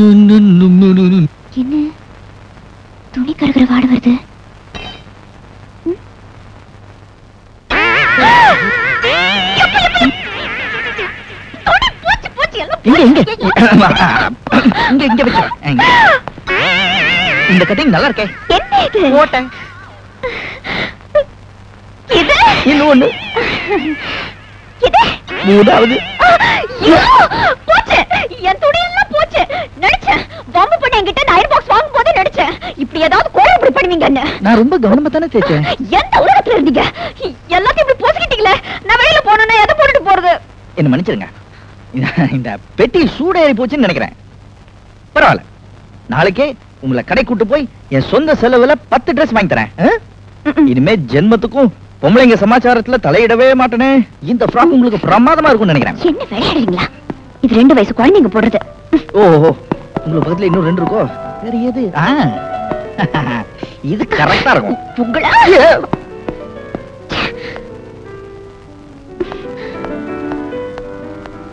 இது என்னது? இது எப்படி? டேய் சக்கி கொண்டுட்டுடா சூப்பர் செலெக்ஷன் நானே போட்டுக்கலாம் போல இருக்கேன். வேண்டாம். நீங்க போட்டு பாருங்க. ரொம்ப நல்லா இருக்கு. Violet it's my favourite colour one minute tailor ரூம்ல போய் ஒரு போட்டு பார்த்தேன் ஓகே பனு உள்ள போய் பத்து நிமிஷம் ஆச்சு. ஒரு கவுன் ட்ரையல் பார்க்கறதுக்கு இவ்வளவு நேரமா? கம் அவுட் அவசரப்படாதீங்க செக்கி. இதெல்லாம் பொம்பளைங்க சமாச்சாரம். ஃப்ரண்ட்ல பேக்ல ஃபிட்டிங் கரெக்டா இருக்கான்னு பார்க்க வேண்டாம். ஆமாமா. பொம்பளைங்களுக்கு முன்னாடி கண்ணாடி கிடைச்சிடக்கூடாது. பின்னாடி இருக்கிற பாதரசம் தேயிற வரைக்கும் பார்த்துக்கிட்டே இருப்பாங்க. கொஞ்சம் சும்மா இருக்கீங்களா ஆஹாஹாஹா. என்ன அழகா இருக்கீங்க? ஜிப்பு போடுங்க. நான் போட்டிருக்கனே. ஏன் டாப்போட ஜிப்பு போடுங்க? ஆம்பளைங்களுக்கு எல்லாம் பாட்டம் உங்களுக்கு டாப்பா புது ஜிப் டைட்டா இருக்கு. உஜாலா என்னங்க இது? சினிமாக்கு போலான்னு போய் சொல்லி ஹோட்டல் கூட்டிட்டு வந்துட்டீங்களே. எனக்கு ரொம்ப பயமா இருக்கு. எனக்கு பசியா இருக்கு. பசியா இருந்தா பொறையும் டீயும் சாப்பிடுங்க அடங்கிடும். சி லோ கிளாஸ் எனக்கு வயித்து பசி இல்ல வாரிவு பசி. இப்ப நான் அசுர வேகத்தில் இருக்கிறேன். தெரியாதனமா வீடியோவில் ஒரு கசம் சாசினை பார்த்துட்டேன். அந்த படத்துல பார்த்த காட்சியை இப்ப நான் உன்னை வச்சு ஒத்திக பார்க்க போறேன். யூ கமான் விடுங்க. இப்படி பேச உங்களுக்கு வெக்கமா இல்ல? இல்லவே இல்ல. வெக்கமானதை எல்லாம் நான் விட்டு ரொம்ப நாள் ஆச்சு. உள்ளத்துல ஒரு உசுப்பல் உடம்பெல்லாம் பின்னிட்டு ஒரு வேகம். உன்னை தோரகா பண்ணாதான் அந்த வேகம் தீரும்? வா ஐயோ வேணாங்க. ஏதோ விபரீதம் நடந்துற போகுது? விபரீதம் நடக்காம இருக்கு. இந்தியா டுடேவில் எத்தனையோ வழிகள் இருக்கு. கமான் உச்சி? ரொம்ப பக்கத்துல விசில் சத்தம் கேக்குது. பின்ன நான் அடிச்சா கேட்காதா? என்ன சொல்றீங்க? அது சின்ன வயசுல நான் ஒரு விசில முழுங்கிட்டேன் அது தொண்டைக்குள்ளேயே நிக்குது. நான் உன்னை கிஸ் பண்ணும்போது ம். அது விஸ் விஸ்னு அடிக்குது. நான்சென்ஸ் இந்தியா டுடேவில் எவன்டா கனவு தட்டுறவன்? ஏன்பா பகல்ல உனக்கு ஹோட்டல் ரூம்ல ஜாலி கேக்குதா? பாக்கெட்ல நிறைய சில்லறையா? யார் இந்த பட்லி? புதுக்குறாக்கியா சார் நாங்க யாருன்னு தெரியாம அவசரப்பட்டு பேசாதீங்க. நாங்க ரெண்டு பேரும் இணை பிரியாத காதலர்கள். யா மேற்கத்தி பாணியில கல்யாணத்துக்கு முந்தி ஒருத்தர் ஒருத்தர் நல்லா புரிஞ்சுக்கிறதுக்காக ஹோட்டலுக்கு வந்தோம். வெஸ்டர்ன் ஸ்டைலா யா யா. எத்தனை தடவை புரிஞ்சுக்கிட்டீங்க? ஒரே ஒரு தடவை புரிஞ்சுக்க போற நேரத்துல பூசணிக்காய போட்டு உடைச்ச மாதிரி காரியத்தை கெடுத்து காதல் இதயங்களை உடைச்சிட்டீங்களே சார். கவலைப்படாதீங்க காதலர்களே. உங்க ரெண்டு பேரையும் லாக்அப்ல தள்ளி ஒன்னா சேர்த்து வைக்கிறேன். கம்பிக்கு பின்னால தள்ள போறீங்களா? நாங்க என்ன தப்பு பண்ணோம் கல்யாணம் ஆகாத ஆணும் பெண்ணும் ஹோட்டல்ல ரூம் எடுத்து இப்படி தகாத செயலில் ஈடுபடுறது சட்டப்படி குற்றமாகும். கல்யாணம் நாங்க வீட்லயே தங்கிக்க மாட்டோமா? Up. சரிங்க. உங்களை பிராத்தல் கேஸ்ல புக் பண்றேன். புக் பண்றீங்களா? என்ன இந்தியா டுடே இவ்வளவு மோசமா போச்சு? கல்யாணம் பண்ணிக்க போற ஒரு ஜோடி ஹோட்டலுக்கு வரக்கூடாதா? சேம் சேம் இத நான் அசம்பிளி வரைக்கும் கொண்டு போவேன். முதல்ல ஸ்டேஷனுக்கு வா. அப்புறம் நடக்க முடிஞ்சா அசம்பிளி வரைக்கும் போகலாம்? ம் வாப்பா. சந்தேகமே இல்ல. ஜவுளி கடையில பானுவோட நீ பார்த்த ஆளுதான் அவருடைய காதல. ஒரு வெளிநாட்டு கடத்தல் பிசினஸ பூபதி கையில ஒப்படைச்சிருந்தேன். அவன் கழுத்துல ஒரு டாலர் செயின் போட்டிருப்பான். அந்த டாலருக்குள்ள ஒரு ரகசிய நம்பர் இருக்கு. அந்த டாலரை பார்ட்டி கிட்ட ஒப்படைச்சாதான் நமக்கு சேர வேண்டிய கடத்தல் பொருள் நம்ம கைக்கு கிடைக்கும். பூபதி அந்த பார்ட்டியை சந்திச்சு பிசினஸ முடிக்கிறதுக்குள்ள அவன் தங்கச்சி அவன் கதைய முடிச்சிட்டா. உணத்தையும் எங்கேயோ கொண்டு போய் புதைச்சிட்டா. காதலிய உயிரோட பார்க்கணும்னா பூபதியோட பணத்தை நம்ம கையில ஒப்படைக்கணும்னு அந்த காதலனுக்கு நாம புரிய வைக்கணும். உன் பேர் என்ன மேன் என்னை இந்த மேன் கீழ்ல மரியாதை குறைவா கூப்பிடாதீங்க. எனக்கு பிடிக்காது. நான் பிரபல வீடியோ கேமராமேன். ஒரு நாளைக்கு தௌசண்ட் டூ தௌசண்ட் சம்பாதிக்கிறவன் சார் சம்பாதிச்சு அவகிட்ட விட்டுருவேன் மரியாதையா பேர சொல்ற ராஸ்கல். என்னது? சொல்லுடா ராஸ்கலா? இரு. எனக்கு தெரிஞ்ச ஒரு மந்திரி கிட்ட சொல்லி உன் உடுப்பு தொப்பி எல்லாம் புடுங்கிட்டு அருணா கைத்தோட ஓட விடுறேன். ஷடப் லெட் ஃபூல் இதையும் மந்திரி கிட்ட சொல்றேன். உனக்கு அருணா கயிறு தான் டேய் நீ எவங்கிட்ட வேணாலும் போய் சொல்றா. இப்ப மரியாதையா உன் பேரை சொல்லல? உன்னை வவ்வால் மாதிரி தலைகளா கட்டி தொங்க விட்டுறேன் ஜாக்கிரதை. ஐயோ தொங்க விட்டுறாதீங்க சார். என் பேரை சொல்லிடுறேன். சின்னப்பா. அப்படி வாடா வழிக்கு. வணக்கம் சார். வாயா பபுல் நாயுடு. தபால் கொண்டு வந்திருக்கியா? அதெல்லாம் ஒண்ணும் இல்ல சார். என் பொண்ண மூட்டூரும் போலான்னு வந்திருக்கேன் சார். யார் அவன் பொண்ணு? அத குஞ்சும் கிடைக்குதா கருப்பு புள்ளி போட்ட மஞ்ச போடல. அதுதான் சார் என் பொண்ணு. அத்த போய் கிராட்டின் நினைச்சுக்கின்னு பார்சல் பண்ணிட்டு வந்து இங்க கொண்டாந்து போட்டுக்கினீங்களா. அதோ நெருக்கமா குஞ்சு கிடக்குறானே திரு திருன்னு திருட்டு முடி முடிச்சுக்கினேன் அவன் தான் அவளை கட்டிக்க போறவன். என்ன உங்க நைனா வருங்கால மாப்பிளைய அவைவன்னு பேசுறாரு? இந்தியா டுடேல கலாச்சாரம் ரொம்ப கெட்டு போச்சு. சும்மா இருக்க அந்த பஞ்சு முட்டாய் தலைவன் சும்மா இருக்க சொல்லு. இன்ஸ்பெக்டர் சார் என் மானம் மறுவாதிய காப்பாத்துங்க. இந்த ஒரு வாட்டி மன்னிச்சு விட்டுடுங்க. இனிமே இது மாதிரி நடக்காம நான் பாத்துக்கிறேன் ஓகே. ரெண்டு பேரும் இங்க வாங்க. இவர் முகத்துக்காக உங்களை விடுறேன். மறுபடியும் ஹோட்டல் ரூம்ல உங்களை ஒன்னா பார்த்தேன் ஹலோ டேய் உன் காதலி பானு இப்ப எங்க பாதுகாப்புல இருக்கா? ஒரு மணி நேரத்துக்குள்ள நாங்க சொல்ற இடத்துக்கு நீ வரல. பூபதி சடலத்தை நீ புதைச்ச மாதிரி. நாங்களும் அவளை புதைச்சிடுவோம். என் காதலி ஒண்ணும் செஞ்சிடாதீங்க. நீங்க இடத்த சொல்லுங்க அஞ்சு நிமிஷத்துல அங்க வந்து நிக்கிறேன். ஆ. ஆஹா. உங்க ரெண்டு பேரோட ஜாதகமும் என் கையில இருக்கு. இப்ப கூட காரியம் ஒண்ணும் கெட்டு போகல. நீ நினைச்சா அந்த பொண்ண அடுத்தவன் கைப்படாம காப்பாத்தலாம். இப்ப சொல்லு பூபதி பாடி எங்க? எனக்கு தெரியாது. நீ தர மாட்ட இத பாருமா தங்கச்சி உன் மானத்தை காப்பாத்துறதுக்கு அவனுக்கு கடைசி சந்தர்ப்பம் கொடுத்தேன். அவன் சட்டை பண்ணல. உன் மானம் பறி போறதுக்கு முன்னாடி மரியாதையே சொல்லிடுமா? உங்க அண்ணன் போனா எங்க? தெரியாது. நீ ஏன் தர மாட்ட? டே கட்டாரி இந்த விளையாடுற கண்ணா கிளைமேக்ஸ் வரைக்கும் போலாமா பாஸ் உனக்கு உடம்பெல்லாம் மச்சம். ஜமாய். Thank you pass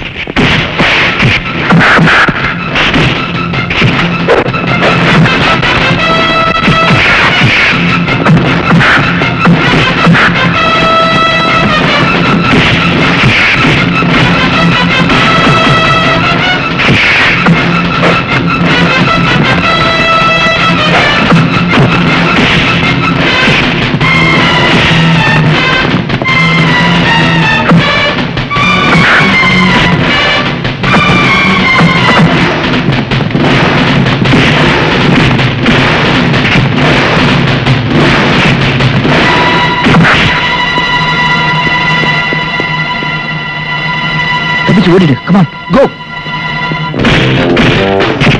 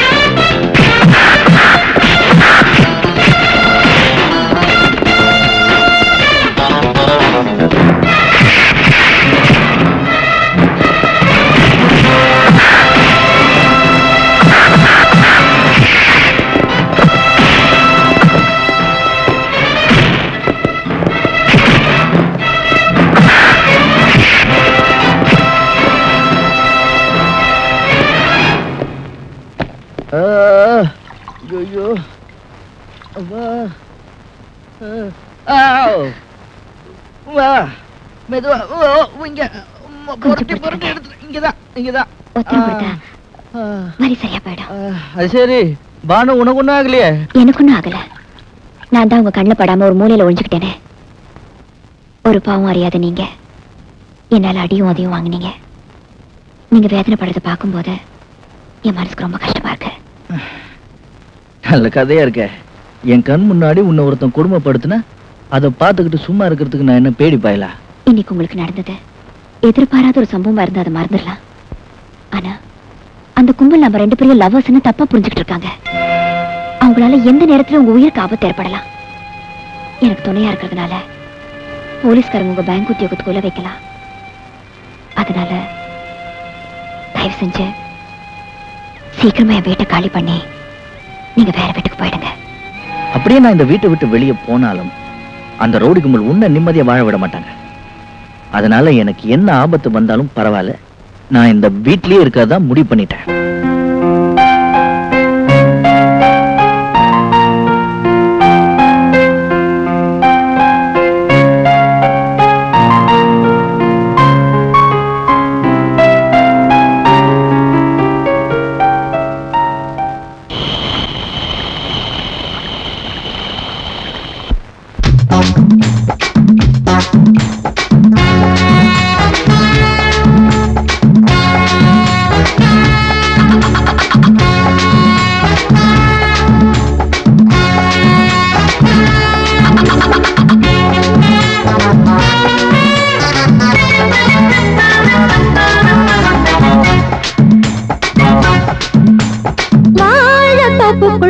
வாலிபத்து காத்தடிக்குதே.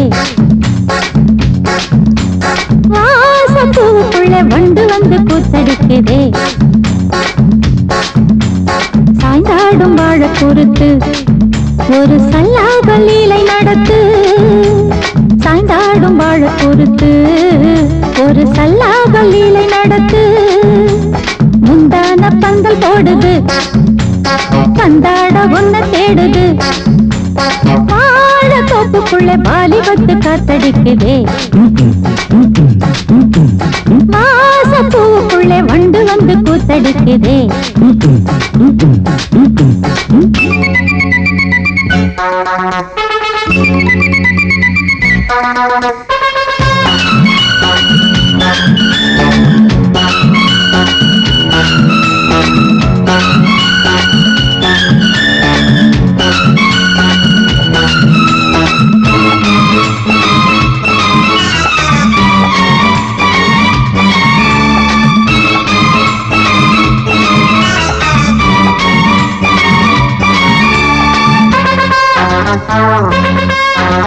தங்க நிற அங்கம் என் கையில் நிறு தங்கம் நான் தாளங்களை தட்டி பார்க்கவா?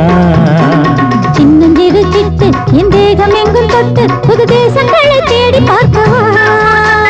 தங்க நிற அங்கம் என் கையில் நிறு தங்கம் நான் தாளங்களை தட்டி பார்க்கவா? சின்னஞ்சிறு சிட்டு என் தேகம் எங்கும் தொட்டு புது தேசங்களை தேடி பார்க்கவா? ரோஜா தூரல்களே பார்வைகளே காமன் பூஜைகளே. காதல் பாஷைகளே. தீபங்கள் ஏற்றும் நேரமே. சிங்கார மஞ்சள் தேடுமே. வாழ தொப்புக்குள்ளே வாலிபத்து காத்தடிக்குதே. வாச பூவுக்குள்ளே வண்டு வந்து கூத்தடிக்குதே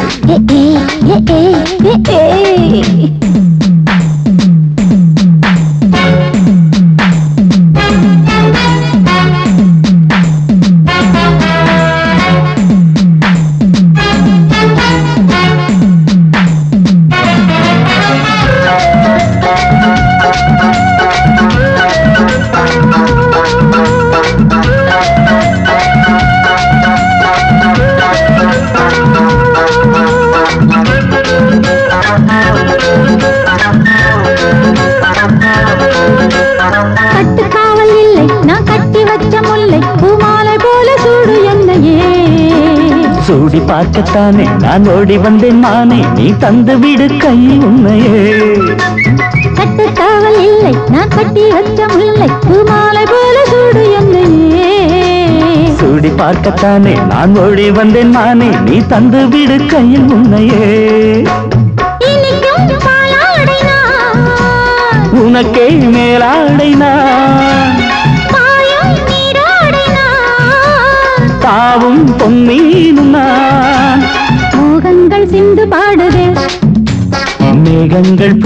தூவுதே வாழ தோப்புக்குள்ளே வாலிபத்து காத்தடிக்குதே. வாச பூவுக்குள்ளே வண்டு வந்து கூத்தடிக்குதே சாய்ந்தாடும் வாழ குறுக்கு ஒரு சல்லாப லீலை நடக்கு.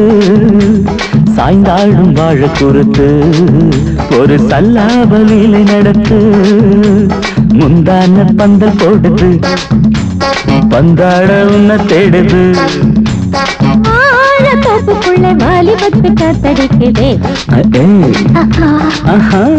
வாச பூவுக்குள்ளே வண்டு வந்து கூத்தடிக்குதே. ஏ, ஏ. ஆஹா. ஓ குட் மார்னிங் பேங்க் தம்பி. குட் மார்னிங் இந்தியா டுடே எப்படி இருக்கு? ஸ்டெடியாவே இல்ல. எங்க வீட்டு போன் அவுட்டா பாடுறே. ஒரு சின்ன போன் பண்ணிக்கலாம்னு வந்தேன். ஆமா பானு வீட்ல இல்ல? இல்லையே. அவங்க காலைல ஆறு மணிக்கு வெளியே போயிட்டாங்க. இன்னைக்கு ஞாயிற்றுக்கிழமை இல்ல கவரேஜுக்கு போயிருப்பாங்க. கவரேஜ் இப்பெல்லாம் அவங்க மாடலிங் போறது இல்லையே நான் சொல்றது வேற கவரேஜ் புரியுதா? புரியலையே. இந்தியா டுடேல பொண்ணுங்க நினைச்சா சுலபமா சம்பாதிக்கிறதுக்கு எத்தனையோ வழிகள் இருக்கு. இருக்கலாம். பானு அப்படிப்பட்ட பொண்ணு இல்ல. நீங்க தெரிஞ்சுக்கிட்டது அவ்வளவுதான். மாடலிங் சான்ஸ் போனதுக்கு அப்புறம் பானுவுக்கு வருமானமே அந்த கவரேஜில் தான். நீங்க வேணா செக்அப் பண்ணி பாருங்க. ஒவ்வொரு ஞாயிற்றுக்கிழமையும் காலையில அந்த பொண்ணு வீட்டை விட்டு போனா லேட் நைட் தான் வீடு திரும்புவான். அப்படியா? இத்தனை நாள் இந்த விஷயம் எனக்கு தெரியாம போச்சு. கையில வெண்ணெய் வச்சுக்கிட்டு ஏன் நெய்க்கு அலையறீங்க? சார் நான் இப்ப நெய் கலைஞ்சேன். அப்ப வெண்ணெய்க்கு அலையறீங்களா? வெண்ணையும் இல்ல தொன்னையும் இல்ல. தயவு செஞ்சு போனை பண்ணிட்டு இடத்த காலி பண்ணுங்க. ரொம்ப தேங்க்ஸ் இந்தியா டுடேல உங்க போனாவது ஒர்க் பண்ணு பாப்போம். இதான் நான் பெத்த பொண்ணு. உன் பொண்ணா? நம்பவே முடியலையே. உன் பேர் என்னம்மா? உஜாலா. உஜாலா? சொட்டு நீளம். இந்த பேரை எங்கேயோ கேட்ட மாதிரி இருக்க. உங்க அண்ணன் மகன் சின்ன பாக்கிதானே ஆ, அவன் இவனை தோட்டுட்டான் என் சித்தப்பனுக்கு நான் தான் ஒரே வாரிசு. இந்த வீடு வீடியோ கடையெல்லாம் எனக்கு தான் சொல்லி. என் பொண்ணை உசுப்பி விட்டுட்டான். என்ன காதலிக்கிறேன்னு சொன்னாரு. சரி வீடு இருக்கு கடை இருக்குன்னு நானும் தலையாட்டிட்டேன். அப்புறம் கல்யாணம்னு சொன்னாரு. சரி வீடு கீது கடை கீதுன்னு இது தலையாட்டி கீது வீட்டையும் கடையும் காட்டி இன்னும் என்னென்ன இளவெல்லாம் செஞ்சாயா? இவனை ஓட்டல இட்டுட்டு போயிருக்கான். டிஃபன் சாப்பிடவா? இல்லைங்க. உஜாலாவின் உணர்ச்சிகளை உசுப்பி விடுறதுக்கு. வீடு கடை இருக்குன்னு இவளும் போயிட்டான் ஆமாங்க. என் பொண்ணு கற்பல உங்க பையன் சாப்பா குத்துறதுக்கு முந்தி நல்ல காலங்க. போலீஸ் ரைடு வந்து இவங்க ரெண்டு பேரையும் அள்ளி போட்டுட்டு போய் போலீஸ் ஸ்டேஷன்ல குத்த வச்சுட்டாங்க. என் மானம் மறுவாதை எல்லாம் போச்சுங்க அதுக்கு முன்னால உனக்கு இதெல்லாம் இருந்ததுன்ற. இன்னும் எண்ணி எட்டு நாளைக்குள்ள என் பொண்ணு கழுத்துல தாலி கட்டல. அவனை கோர்ட்டுக்கு வீசுவேன் அவசரப்பட்டு கோர்ட்டுக்கு போகாத. இந்த பிரச்சனைக்கு கூடிய சீக்கிரம் ஒரு முடிவு எடுக்கிறேன்.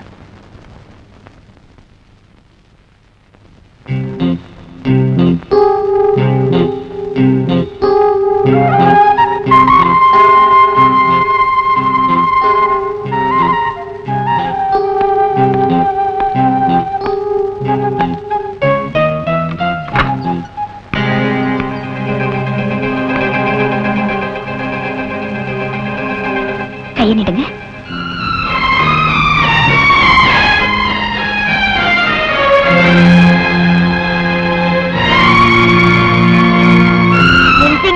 முன்பின் நீ.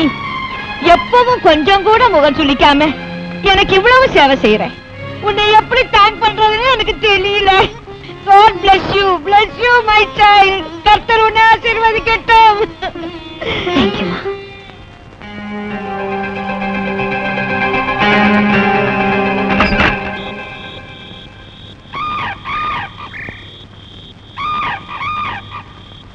பானு?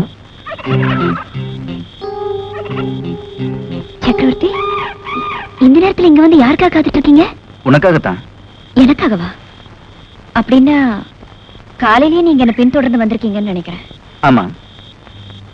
எதுக்காக ஃபாலோ பண்ணி வந்தீங்கன்னு தெரிஞ்சுக்கலாமா? குனிஞ்சு நிமிர முடியாத வேலைன்னு சொன்னியே அது என்னன்னு தெரிஞ்சுக்கலாம் தான் வந்தேன். ஓ தெரிஞ்சுக்கிட்டீங்களா? தெரிஞ்சுக்கிட்டேன். ஆனா உன்னத்தை என்னால புரிஞ்சுக்க முடியல. எதுக்காக இப்படிப்பட்ட வேலையெல்லாம் செய்யற பேப்பர்ல விளம்பரம் பார்த்து நானா தான் இந்த வேலையை தேடிக்கிட்டேன். வாரத்துல ஒரு நாள் அந்த அம்மாவோட துணிமணிகளை துவைச்சு போட்டு குளிப்பாட்டி விட்டு மாதா கோயிலுக்கு கூட்டிட்டு போனோம் மத்தபடி சில்லறை வேலைகளை பார்த்து கொடுத்துட்டு ராத்திரி ஒன்பது மணிக்கு தான் வீடு திரும்புவேன். பார்ட் டைம் ஜாப் மாதா ஆயிரம் ரூபாய் சம்பளம். இருந்தும் கெடுத்தான் செத்தும் கெடுத்தான்னு சொல்லுவாங்களே. அந்த மாதிரி எங்க அண்ணன் பூபதி உயிரோட இருக்கும்போது அவன் கொடுத்த தொல்லைகளுக்கு அளவே இல்லை. அவன் செத்த பிறகும் என்னை சாகாம சாகடிச்சிட்டான். நான் செஞ்சுட்டு இருந்த மாடலிங் தொழிலும் போச்சு. கை நிறைய எவ்வளவோ சம்பாதிச்சேன். ஆனா இன்னைக்கு வரைக்கும் எனக்குன்னு பேங்க்ல ஒரு பைசா கூட போட்டு வைக்க சந்தர்ப்பமே கிடைக்கல. ஏன் அப்படி? எங்க அண்ணன் எனக்கு விட்டுட்டு போற சொத்து நாலா பக்கமும் கடன். அந்த கடனை எந்த ஜென்மத்துல எப்படி தீர்க்க போறேன்னு எனக்கே தெரியல. சுத்தி இருக்கிற உலகம் என்னை தீண்டு தகாத மாதிரி பாக்குது என்னால வாழவும் முடியல. சாகவும் வழி தெரியல. இப்படிப்பட்ட துர்பாக்கியமான நிலைமை எந்த பொண்ணுக்கும் வரக்கூடாது. பானு வாழ்க்கைன்னா மேடு பள்ளங்கள் வரத்தான் செய்யும். அதை தாங்கிக்கிற மனப்பக்குவம் நமக்கு வேணும். இந்த உலகம் என்ன கொலக்காரின்னு சொல்லுதே. அந்த மனவேதனை தான் என்னால தாய்க்க முடியல. வெளிவட்டாரத்துல உன்னை பத்தி இப்படி ஒரு பகிரங்கமான குற்றச்சாட்டு இருக்கிறது என்னமோ உண்மைதான். இந்த களங்கத்தை போக்குறதுக்கு உனக்கு எல்லா விதத்திலையும் உதவி செய்ய நான் தயாரா இருக்கேன். நீ உண்மையிலேயே நிரபராதின்னா முதல்ல நீ என்ன நம்ப வைக்கணும்? உங்களை எப்படி நான் நம்ப வைக்கிறதுன்னு தெரியல. பானு தெய்வத்துக்கு முன்னாடி நீ கற்பூரத்தை ஏத்தி பூபதி நீ கொலை பண்ணலன்னு எனக்கு சத்தியம் பண்ணி கூட. நான் நம்புறேன்.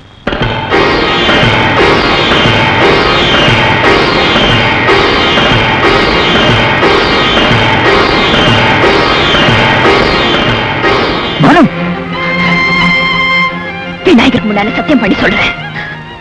நான் பூபதிய கொலை பண்ணல.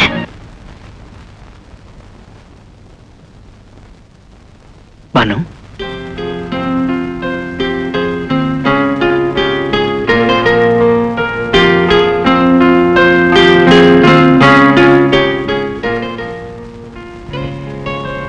உனக்கு அக்னி பரீட்சை வச்ச உன் உள்ளங்கையில மட்டும் இல்ல உன் உள்ளத்திலும் தீக்காயங்கள் ஏற்படுத்திட்டேன். உங்களை மாதிரி ஒரு நல்ல இதயத்தை என்னால நம்ப வைக்க முடிச்சதுக்கு நான் ரொம்ப சந்தோஷப்படுறேன். பானு நீ எவ்வளவு சொன்னாலும் என் மனசு கேட்கல. ஒரு உண்மையை வரவழைக்கிறதுக்கு உனக்கு எவ்வளவு பெரிய தண்டனையை நான் கொடுத்துட்டேன். இந்த வழக்கை பொறுத்தவரை தண்டனை கொடுத்து வந்த அபராத தொகையும் கட்டணும். கையை நீட்டு. தரேன் அப்படியா? எவ்வளவு தருவீங்கன்னு சொல்லுங்க. கையை நீட்டுறேன் நீ எவ்வளவு கேட்டாலும் தர கையை நீட்டு.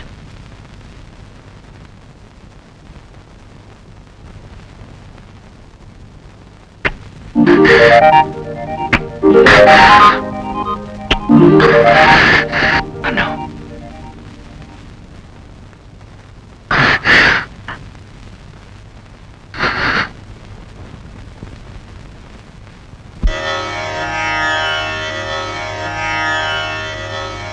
இடது காலை தூக்கி நடனமாடு. வலது காலில் நீயும் ஜதிகள் போடு.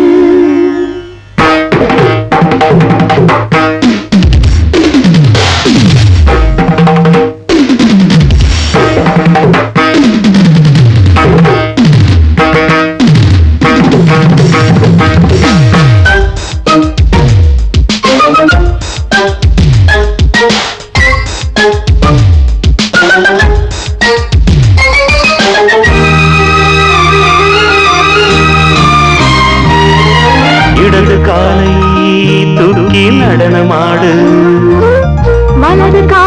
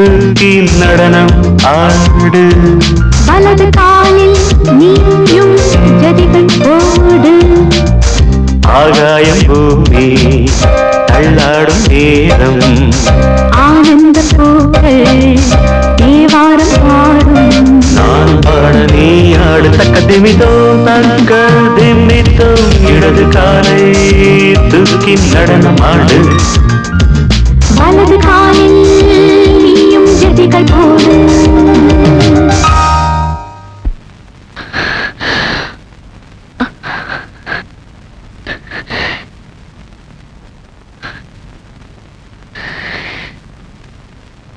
உங்க அரவணைப்புல எனக்கு ஒரு பாதுகாப்பு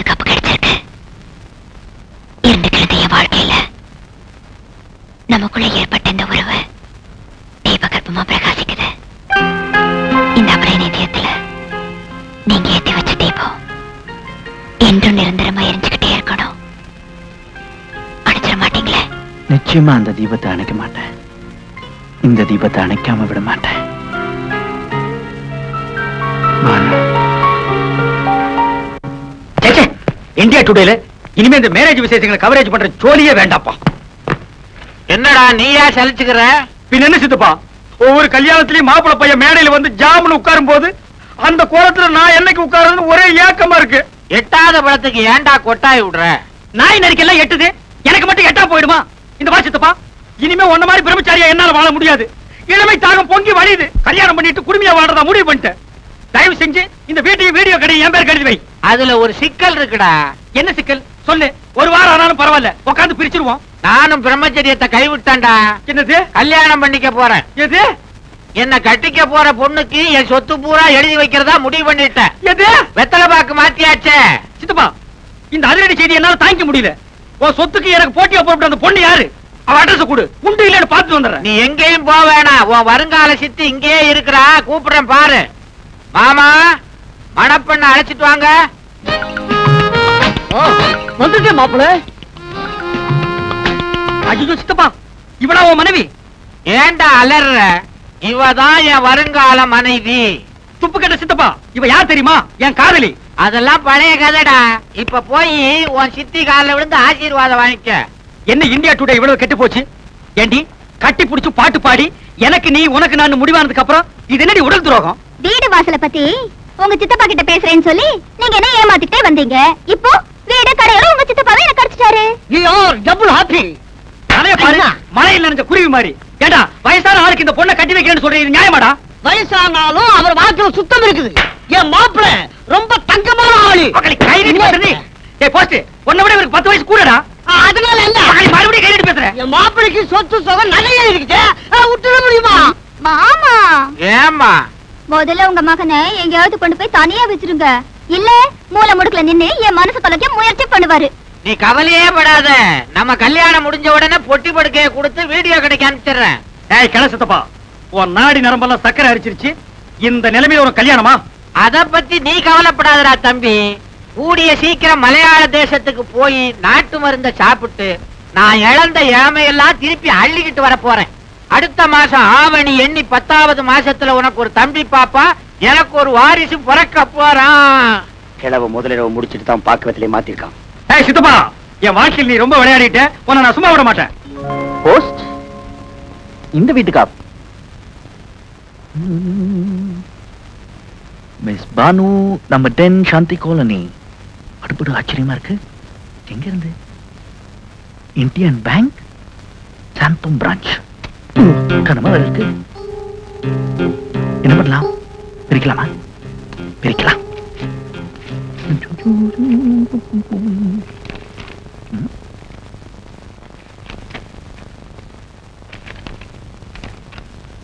மேடம் எங்களுடைய வங்கியில் தங்களுடைய அக்கௌண்ட்டை முடித்துக் கொண்டதால் தங்களுடைய பாஸ்புக்கை இத்துடன் அனுப்பியுள்ளோம். பெற்று பெற்றுக்கொள்ளம்மா என்ன? பாஸ்புக்? பானு பேர்ல அக்கௌண்டா மிஸ் பானு. பேர் கரெக்டாக தானே இருக்கு? Code number one two three என்ன? எவ்வளோ அமௌண்ட் வச்சிருந்தான்னு பார்ப்போம். காட் போன மாசம் வரைக்கும் சேமிப்பு மூணு லட்சத்தி ஒன்பதினாயிரத்தி அறுநூத்தி முப்பத்தஞ்சு. எப்பா இந்த வீடு சுத்துதா என் தலை சுத்துதா? இவ்வளவு பாம்புன்னு நினைச்சு தாண்டவும் முடியல பழுகு நினைச்சு மிதிக்கவும் முடியல. ஹாய் சிக்கி ஹாய் நான் உங்களுக்கு ஒரு பிரசன்டேஷன் வாங்கிட்டு வந்திருக்கேன். நீங்க நோன்னு சொல்லாம ஏத்துக்கணும். சாரி நான் யார்கிட்டயும் பிரசன்டேஷன் வாங்கி பழக்கம் இல்ல இத பாருங்க. இனிமே நமக்குள்ள என்ன ஃபார்மாலிட்டி நீங்க கொடுத்தா நான் வாங்கிக்கணும் நான் கொடுத்தா நீங்க வாங்கிக்கணும். இன்னில இருந்து we are two in one எனக்கு பிடிச்ச கலர்ல உங்களுக்கு ஒரு ஷர்ட் வாங்கிட்டு வந்திருக்கேன். பாருங்க. ஒன்லி ஷர்ட் தங்க மோதிரமே வாங்கி உங்க விரலுக்கு போட்டு பார்க்கணும்னு எனக்கு ஆசை. ஆனா அதுக்கு வசதி இல்லையே. என் சக்திக்கு முடிஞ்ச ஒரு சின்ன அன்பளிப்பு. ப்ளீஸ் வாங்கிக்கங்க ஏன் பானு போய் சொல்ற? நீ விரும்பினா உன் வசதிக்கு எனக்கு ஒரு அம்பாசிடர் கார் வாங்கி பிரசன்ட் பண்ணலாமே. அம்பாசிடர் கார் என்ன? அதெல்லாம் சாதாரணம். ஃபாரின் காரே வாங்கி தந்திருப்பேன் அதுக்கு மனம் இருக்கு. ஆனா பணம் இல்லையே. ஏன் இல்ல? பேங்க்ல லட்சக்கணக்கில் பணம் போட்டு வச்சிருக்கல அதை எடுக்க மனம் இல்லைன்னு சொல்லு. என்னது? பேங்க்ல நான் பணம் போட்டு வச்சிருக்கேனா? அதுவும் லட்சக்கணக்கில். அருமையான கற்பனை. இந்த பாஸ்புக் உன் பேர்ல இருக்கு. இது கூட கற்பனையா? என் பேர்ல பாஸ்புக்கா சாந்தோம் பிரான்ச் இந்தியன் பேங்க்ல லட்சக்கணக்கில் பணம் போட்டு வச்சிருக்கே உன் பாஸ்புக் நீயே பாரு.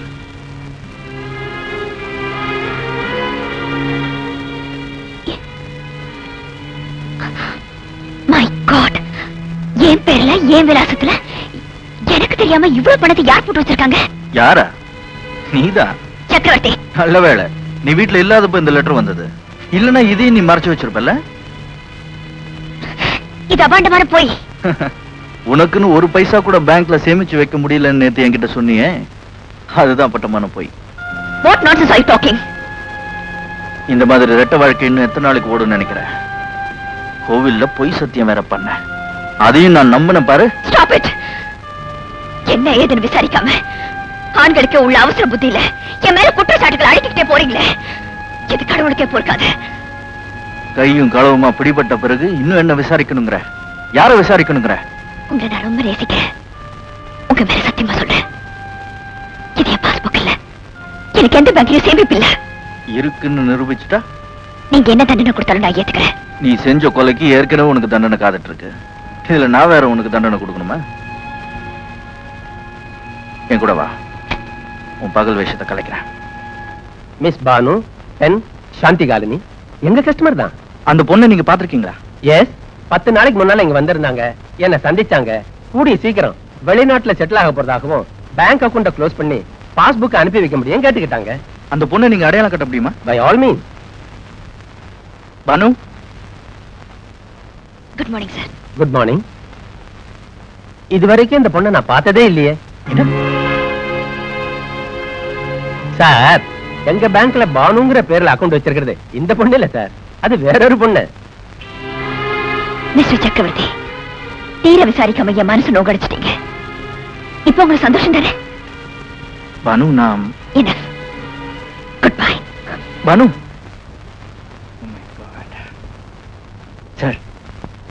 பானுங்கிற பேர்ல ஆள்மாறாட்ட பண்ண பொண்ணு. எப்படி இருப்பான்னு உங்களால சொல்ல முடியுமா? ம் அவளும் உங்க கூட வந்த பொண்ணு மாதிரியே உயரமா தான் இருப்பா. உடலமைப்புல கூட அந்த பொண்ணும் இந்த பொண்ணு மாதிரியே தான் இருப்பா. அந்த பொண்ணை உங்க பேங்க்குக்கு அறிமுகப்படுத்தி வச்ச ஆள் யாரு? அவரோட பேரு விலாசம் உங்களால தர முடியுமா? எஸ் தரேனே.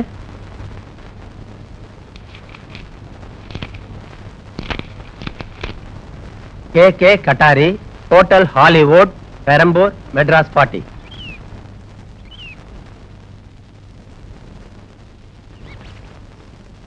நானும் ஆத்திரக்காரனுக்கும் புத்தி மட்டும்னு எல்லாரும் சொல்லுவாங்க. அந்த பழமொழி எனக்கு தான் பொருந்தும். தயவு செஞ்சு நீ என்ன மன்னிச்சிரு. தயவு செஞ்சு நீங்க என்ன மறந்துருங்க.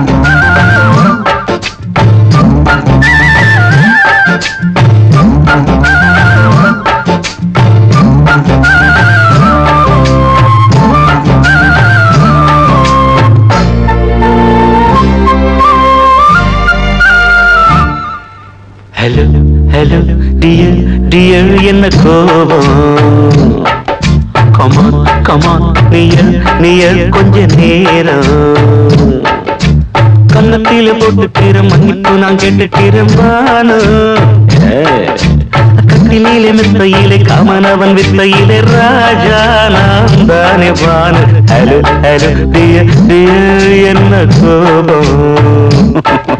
கமா கமா நீ நீய கொஞ்சம் நேரம்.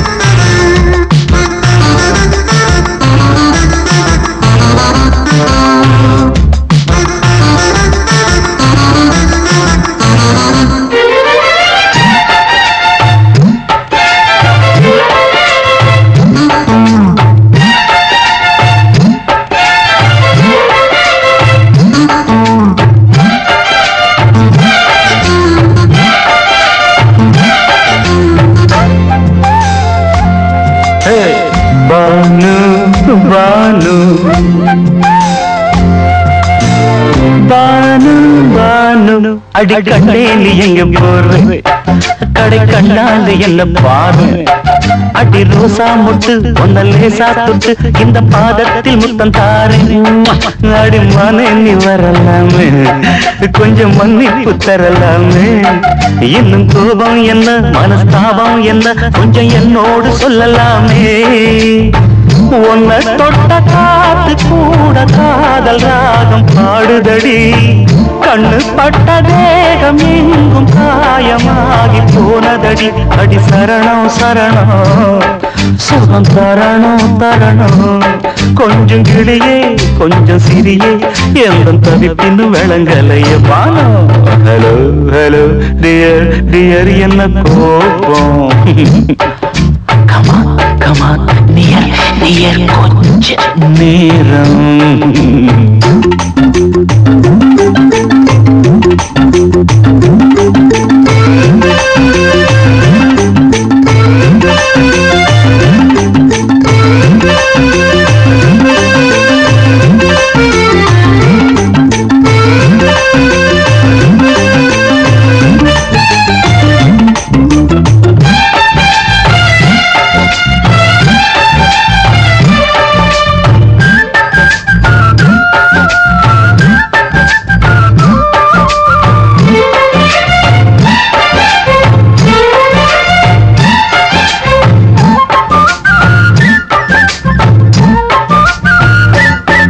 இது கண்ணல்ல விஷ ஊசி. அப்பா அது தாங்காது மகராசி.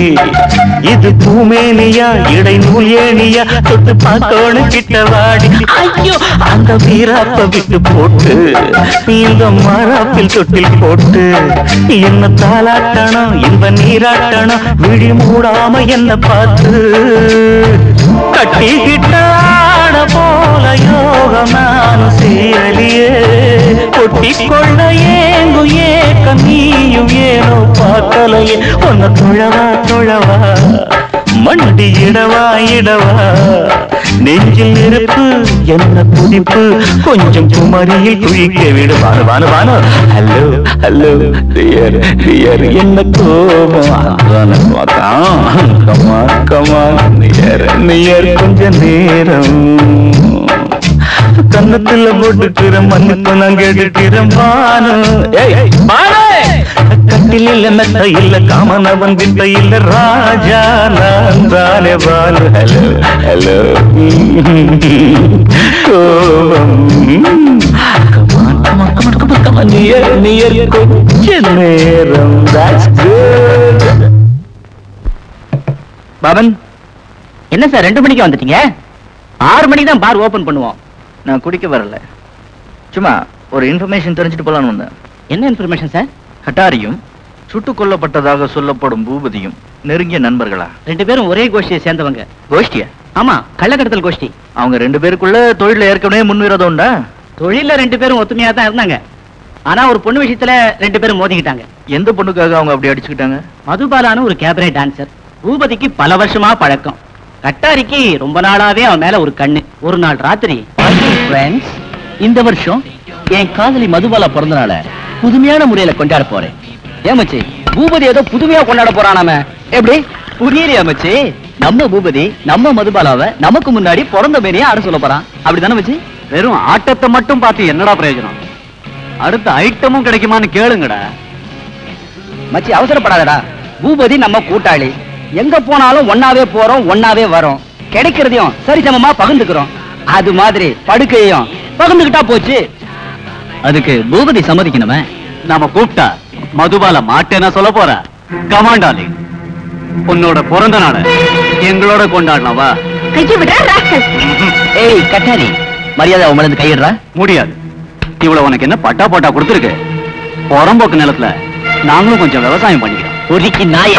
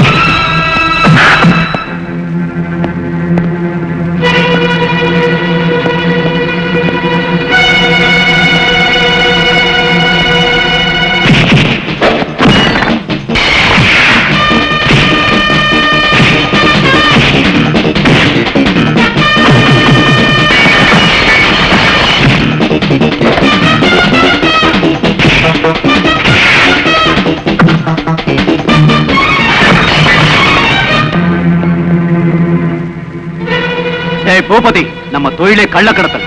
உன் கண்ணகைய கடத்திட்டு போய் திரௌபதியா திருப்பி அனுப்பல? பேர் கட்டாரி இல்ல. என் மதுபால மேல எவனாவது கைய வைக்கணும்னா முதல்ல என் பணத்தை தாண்டணும். சம்பவம் நடந்த ஒரு வாரத்திலேயே பூபதி செத்துட்டான். அவன் காதலி மதுபாலாவும் மாயமா மறைஞ்சிட்டான். நான் வரேன் சார். கொஞ்சம் நில்லுப்பா. இந்த ஹோட்டல் டெலிபோன் நம்பர் என்ன? Sixty one sixty one sixty one நான் கட்டாரியோட ஃப்ரெண்டு பேசுறேன். அவர் இருந்தா கொஞ்சம் கூப்பிடுங்க. ஹலோ கட்டாரி ஹியர் நான் மச்சி பேசுறேன்டா. மச்சியா? யாரா நீ? பானு உன்னோட தங்கச்சி. நான் அவ காதலன். அப்ப நான் உனக்கு மச்சி தானே? நீயா? என்ன விஷயம்? உயிர் முக்கியமா காதலி முக்கியமான்னு யோசிச்சு பார்த்தேன். உயிர் தான் முக்கியங்கிற முடிவுக்கு வந்துட்டேன். புத்திசாலித்தனமான முடிவு. பூபதி பணத்தை எங்க புதைச்சு வச்சிருக்க? தண்டையார்பேட் சுடுகாட்டுல. உடனே பரப்பிட்டு வாங்க. புதைச்சிருக்கிற இடத்த காட்டுறேன்.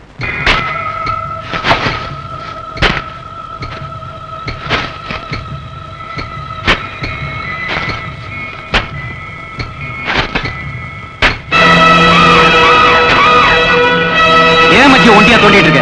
நீ விலகு. கும்பிட்டு என் கையில கொடு. ரெண்டு நிமிஷத்துல பாடியை வெளியே கொண்டு வந்துடுறேன். நீங்க எல்லாரும் ஒன்னா சேர்ந்து விடிய விடிய தோண்டாலும் பாடி கிடைக்காது. ஏன் கிடைக்காது? இடம் மாறி போச்சு. என்ன சொல்ற? அன்னைக்கு ராத்திரி யாரும் பார்த்துடக் கூடாதுங்கிற பதட்டத்துல படுத்துக்கிட்டே குழி தோணுனா எந்த திசையில புதைச்சேன்னு தெரியல. இப்போவாது பதட்டப்படாம நல்ல ஞாபகப்படுத்தி பாரு இப்ப எனக்கு ஞாபகம் வந்துருச்சு. இந்த இடத்துல தான் புதைச்சேன். எப்படி இவ்வளவு கரெக்டா சொல்ற? எலும்பு துண்டு கிடக்குதே. அட பாவி. சுடுகாட்டுல எலும்பு துண்டு கிடக்காம இரும்பு துண்டா கிடக்கும். இது ஒரு அடையாளமா? டேய், இருட்டு நேரத்துல என்னடா ஜோக் அடிச்சுக்கிட்டு? வெட்டுங்கடா ஆறுக்கு நாலு. வெட்டுங்க பா வெட்டுங்க சீக்கிரம் இழுத்துட்டு வாயா. புணத்தை குழியில கடாசிட்டு நான் வண்ணாரப்பேட்டைக்கு போகணும். ஏன்னா அங்க ஒரு கிழவி புணத்தை எருவராட்டி போட்டு மூடி வச்சுட்டு வந்திருக்கேன். நான் போய் தான் எரிக்கணும். இல்லன்னா அந்த கிழவி எழுந்திருச்சு ஓடிடுவா. அவ சுடுகாட்டுக்கு வர்றது இது மூணாவது தடவை. இழுத்துட்டு வாயா. வஜர இனிமே தொண்டா போனா வராது பெட்ரோல் தான் வரும். இவன் நம்மள டபாய்க்கிறான் நினைக்கிறேன். நான் உங்களை காடு மாத்திரம் கரெக்டா கண்டுபிடிச்சிட்டேன் பாத்தியா? டேய் உனக்கு கடைசி சந்தர்ப்பம் தரும். உயிர் மேல ஆசை இருந்தா ஒழுங்கா பணத்தை காட்டிட்டு திரும்பி பார்க்காம ஓடு. நான் உனக்கு ஒரு கடைசி சந்தர்ப்பம் தரேன். பூபதியை நீ தான் சுட்டு கொண்டு இருக்க. அவனை புதைச்சு வச்சிருக்கிற இடத்த சொல்லு. பூபதியின் கூட்டாளி. அவனை நான் இது கொல்லணும்? அவன் காதலி மதுபாலாவை மடியில போட்டுக்கிறதுக்கு தான் பாவம் பானு. அவளுக்கு அவன் அண்ணனுக்கு இருந்த குடும்ப சண்டையை பயன்படுத்தி நீ அவனை க்ளோஸ் பண்ணிட்ட. உன் காதலி உதவியோட அவனை எங்க கொண்டு போய் புதைச்சிட்ட. வெரி கிளவர் என்ன மாதிரியார விடுகதை போடுறான்? இவன் சொல்றதெல்லாம் உண்மையா? அவசரப்படாதீங்கப்பா. அவன் போட்ட விடுகதைக்கு அவனையே பதில் சொல்ல வைக்கிறேன். டேய் கடப்பாரை தூக்கி போடுறேன்.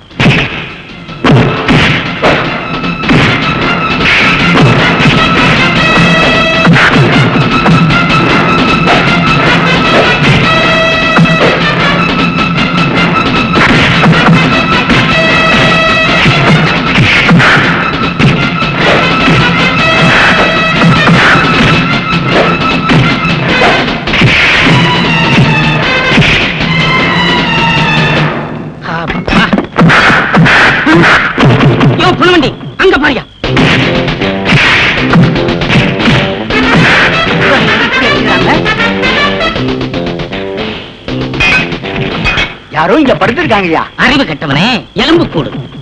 ஆமா இது ஆம்பளை எலும்பு கூடா பொம்பளை எலும்பு கூடா? இரு பார்த்து சொல்றேன்.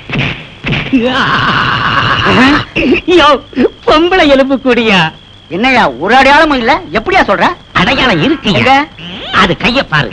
எங்க வச்சு பொத்திக்கிட்டு வெக்கப்பட்டு படுத்திருக்கேன் ஆமாய்யா.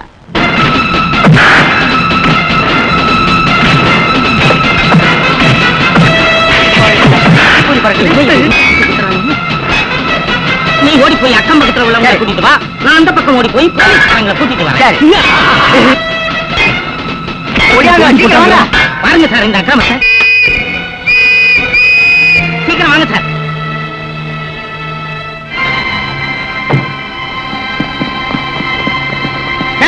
மரியாதை வெளியே இல்ல சுட்டு பிடிப்பேன்.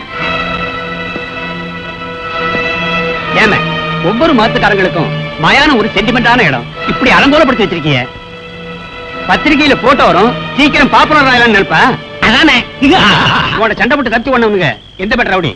நீ எந்த பெட்ட ரவுடி? சார் அவங்க தான் ரவுடி நான் ரவுடி இல்ல. யாருக்கு அதுல பூசுத்துற? கான்ஸ்டபிள் கையில விளங்க மாட்டேன். எஸ் சார் வெயிட் தயவு செஞ்சு என் கூட இப்படி கொஞ்சம் வாங்க. நான் யாரு இங்க என்ன நடந்ததுன்னு விவரமா சொல்றேன். தனியா கூட்டிட்டு போய் அரசாங்க ரகசியமா சொல்ல போற? நீ யாருங்கிறத பப்ளிக் எங்கே சொல்லு. I am crime branch CID officer what நான் பத்திரிகை நிருபர் நீங்க போலீஸ் ஆபீசர் நான் எப்படி நம்புறது? This is my identity card sir நான் செய்யாத குத்தத்துக்கு சட்டப்படி எனக்கு தண்டனை வாங்கி கொடுக்க முடியலனாலும் சமுதாயத்துல எனக்கு ஜென்ம தண்டனை வாங்கி கொடுத்துட்டீங்க. நான் ஒரு நடப்பிட மாதிரி வாழ்ந்துகிட்டு இருக்கேன். ஏன் சார் என்ன இப்படி கொல்லாம கொல்றீங்க? நீ என்ன சொல்றேன்னு எனக்கு புரியலம்மா. இத படிச்சு பாருங்க. புரியும். பூபதியின் கொலை வழக்கில் புதிய திருப்பம்.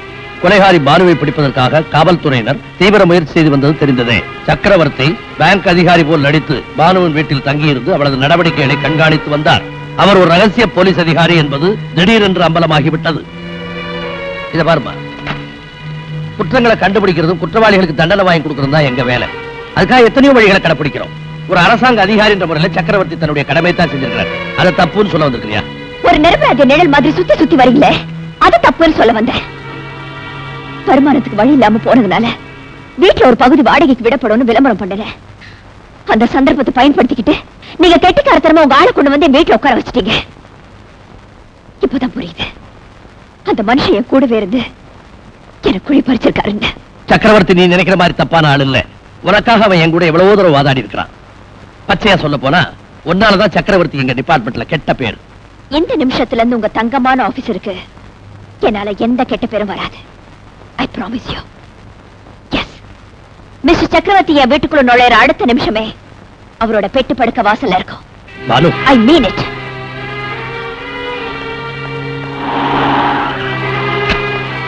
Banu. எங்க? எவ்வளவு தூரம்? போலீஸ் இலாக்காவின் திறமையை பாராட்டணும்னு தோணுச்சு. அத உங்க டிப்டி கமிஷனரை பார்த்து கை குலுக்கிட்டு வரேன். வைதவே மிஸ்டர் சக்கரவர்த்தி உங்க நடிப்பு excellent hands off to you Banu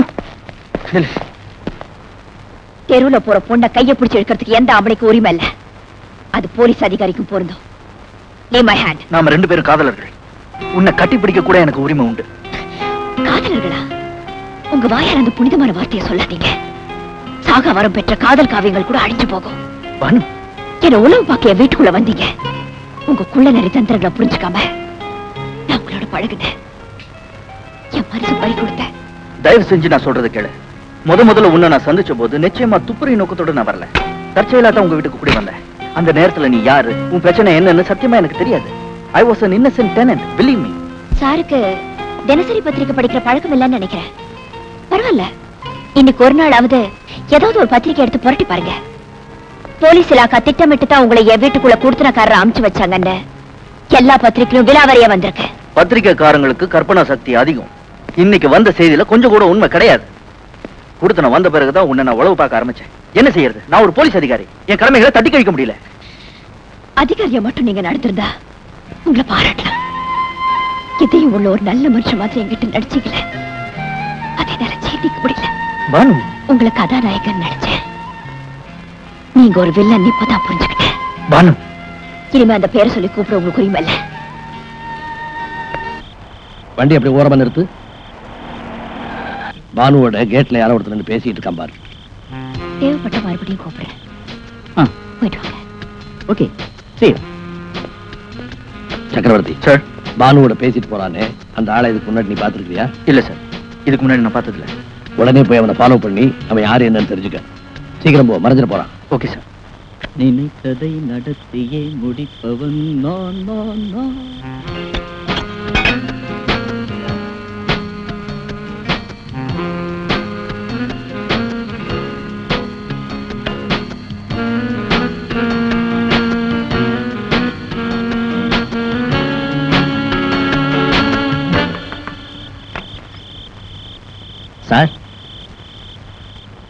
என்னய்யா திடீர்னு வந்து நிக்கிறேன்? நீங்க அந்த பொண்ணை ஃபாலோ பண்ணீங்க. நான் உங்களை ஃபாலோ பண்ணேன். Very good your sincere police officer அவ கையில ஒரு பை வேற இருக்கு. மார்வாடி கடைக்கு ஏன் இந்த நேரத்தில் வந்திருக்கா யார் அந்த மார்வாடி? இந்த மார்வாடி திருட்டு சுத்த வாங்குறத கில்லாடி? இருபத்தி நாலு மணி நேரம் ஆஸ்பத்திரி மாதிரி. இவன் வீட்டை யார் வேணும்னாலும் எப்ப வேணும்னாலும் தட்டலாம். நம்ம குற்றப்பட்டியல கூட அவன் பேர் இருக்கு. நீங்க தான் ஹீரால சேட்டா? ஆமாங்க சார். ஏன் கேக்குறீங்க? இந்த பொண்ணு உங்களுக்கு எத்தனை வருஷமா தெரியும்? உங்க கேள்விக்கு நான் பதில் சொல்றேன். இவருக்கு என்ன இப்பதான் தெரியும். ஆமா சார். இதுக்கு முன்னாடி இந்த பொண்ணை நான் பார்த்ததில்லை. ரெண்டு பேரும் பேசி வச்சுக்கிட்டு ஒரே மாதிரி பதில் சொன்னீங்களா? அதானே? சேட்டு வீணா உடம்ப புண்ணாக்காதீங்க உண்மையை சொல்லிடுங்க உங்களை அரசாங்க தரப்பு சாட்சியா நாங்க எடுத்துக்கிறோம். சொல்லிடுறேன் சார். இந்த பொண்ணு அந்த வெள்ளை மெழுகுவத்தி ஸ்டேண்டை எங்கிட்டே கொண்டு வந்து கொடுத்து இத அடகா வச்சு கொஞ்சம் பணம் கொடுங்கோன்னு கேட்டது. நீங்க உள்ளே வந்த பிறகுதான் தெரியும். இந்த பொண்ணு அந்த திருட்டு பொருளை வச்சு பணம் வாங்கியிருக்குன்னு. யார பார்த்து திருடின்னு சொன்ன? இன்னொரு தடவை அப்படி சொன்ன? நாக்கு அறுத்துவேன் ஜாக்கிரதை. இது பாருங்க சார். ஏன் கஷ்டத்துக்கு ஏன் வீட்டு பொருள் அடமானம் வச்சு பணம் வாங்கிட்டு போறேன் இது குத்தோன்னு உங்க சட்டம் சொல்லுச்சுன்னா என்ன ஆஸ் பண்ணி கூட்டிட்டு போங்க. நான் வீட்டுக்கு போலாமா? இல்ல உங்க கூட ஸ்டேஷன் வரணுமா? நீ வீட்டுக்கு போலாம். Thank you Twinkle, twinkle, little star, how I wonder what you are.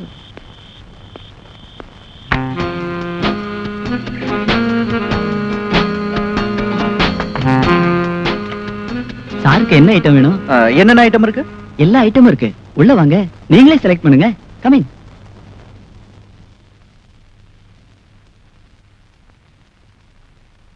ஓஹோ. இது மியூசிக் இன்ஸ்ட்ருமெண்ட்ஸ் விக்கிற கடையா? ஆமா சார் இந்த ஷாப்க்கு நான் தான் ஓனர் உங்களுக்கு என்ன ஐட்டம் வேணும்னு சொல்லுங்க. விலையை பார்த்து போட்டு தரேன். இந்த பியானோ சாந்தி காலனி பானுடைய தானே? ஆமா சார் இன்னைக்கு காலையில தான் அந்த பொண்ணு வீட்ல இருந்து இதை எடுத்துட்டு வந்தேன். எனக்கு இதை வித்துட்டாங்க. பானுகிட்ட இப்பதான் பணத்தை கொடுத்துட்டு திரும்பி வர்றேன். பாவம் ஏதோ பண நெருக்கடி போல இருக்கு. இல்லைன்னா இந்த பியானோவை பாதி விலை கொடுத்துருக்குமா? அழகான பியானோ உங்களுக்கு பிடிச்சிருந்தா எடுத்துட்டு போங்க. நியாயமான விலையை போட்டு தரேன். இதை நான் வாங்கிட்டு போனா திரும்ப அவங்க கிட்ட தான் கொடுக்கணும்.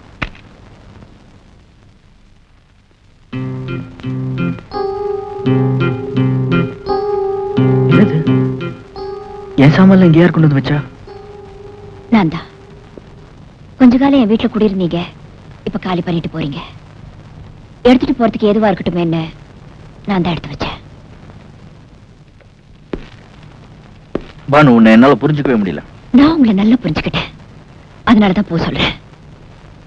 இந்தாங்க நீங்க என்கிட்ட கொடுத்த advance fifteen thousand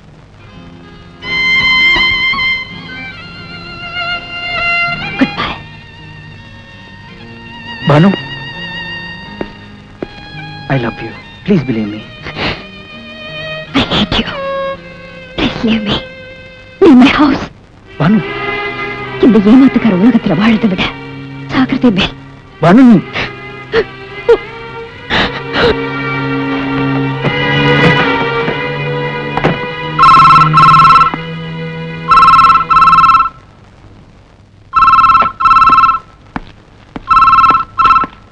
ஹலோ சக்கரவர்த்தி. ரொம்ப நேரமா மணி அடிச்சிட்டு இருக்கு இவ்வளவு நேரம் எங்க போயிருந்த? நீங்க அனுப்பி வச்சிருந்த வேலைக்கு போயிருந்தேன் சார் கொஞ்ச நேரத்துக்கு முந்தி மாடலழகி பானு எங்க போயிருந்தா தெரியுமா? தெரியாது சார் சொல்லுங்க. பானு ஒரு அயோக்கிய பையன் அடகு கடைக்கு போயிருந்தா. அவங்க போனது எனக்கு தெரியாது. ஆனா எதுக்கு போயிருப்பான்னு எனக்கு தெரியும். வீட்டுல இருக்கிற பொருள் எதையாவது அடமானம் வச்சு பணம் வாங்க போயிருப்பா. நான் ஒரு ஆளை ஃபாலோ பண்ணிட்டு போனல அவர் மியூசிக் ஷாப் வச்சிருக்காரு. அவர்கிட்ட வீட்டுல இருந்த பியானோவை இன்னைக்கு தான் வித்துருக்கா ஒரே நாள்ல அவளுக்கு என்ன திடீர்னு பண நெருக்கடி? வீட்டுக்காக நான் கொடுத்திருந்த அட்வான்ஸ் பணத்தை கொஞ்ச நேரத்துக்கு முன்னாடி தான் திருப்பி கொடுத்தா. நல்ல செய்தி. சார் அவ என்ன சுத்தமா நம்ப மாட்டேங்கிறா. என் உத்தியோகத்தை ராஜினாமா செய்யலாம்னு முடிவு பண்ணிட்டேன். அப்பதான் அவளை நான் எவ்வளவு ஆழமா நேசிக்கிறேங்கிறத அவ புரிஞ்சுக்குவா. என்ன தம்பி உச்சக்கட்ட அவசரம் எல்லாம் பேசுற? பக்கத்துல பானு கை துப்பாக்கி ஒண்ணு தீல வச்சுட்டு நிக்கிறாளா? சார் பக்கத்துல பானுவும் இல்ல யாரு என் தலையில துப்பாக்கியை வச்சு என்ன மிரட்ட துப்பாக்கி சுத்தம் மேல அடியில் Banu! Banu! Control room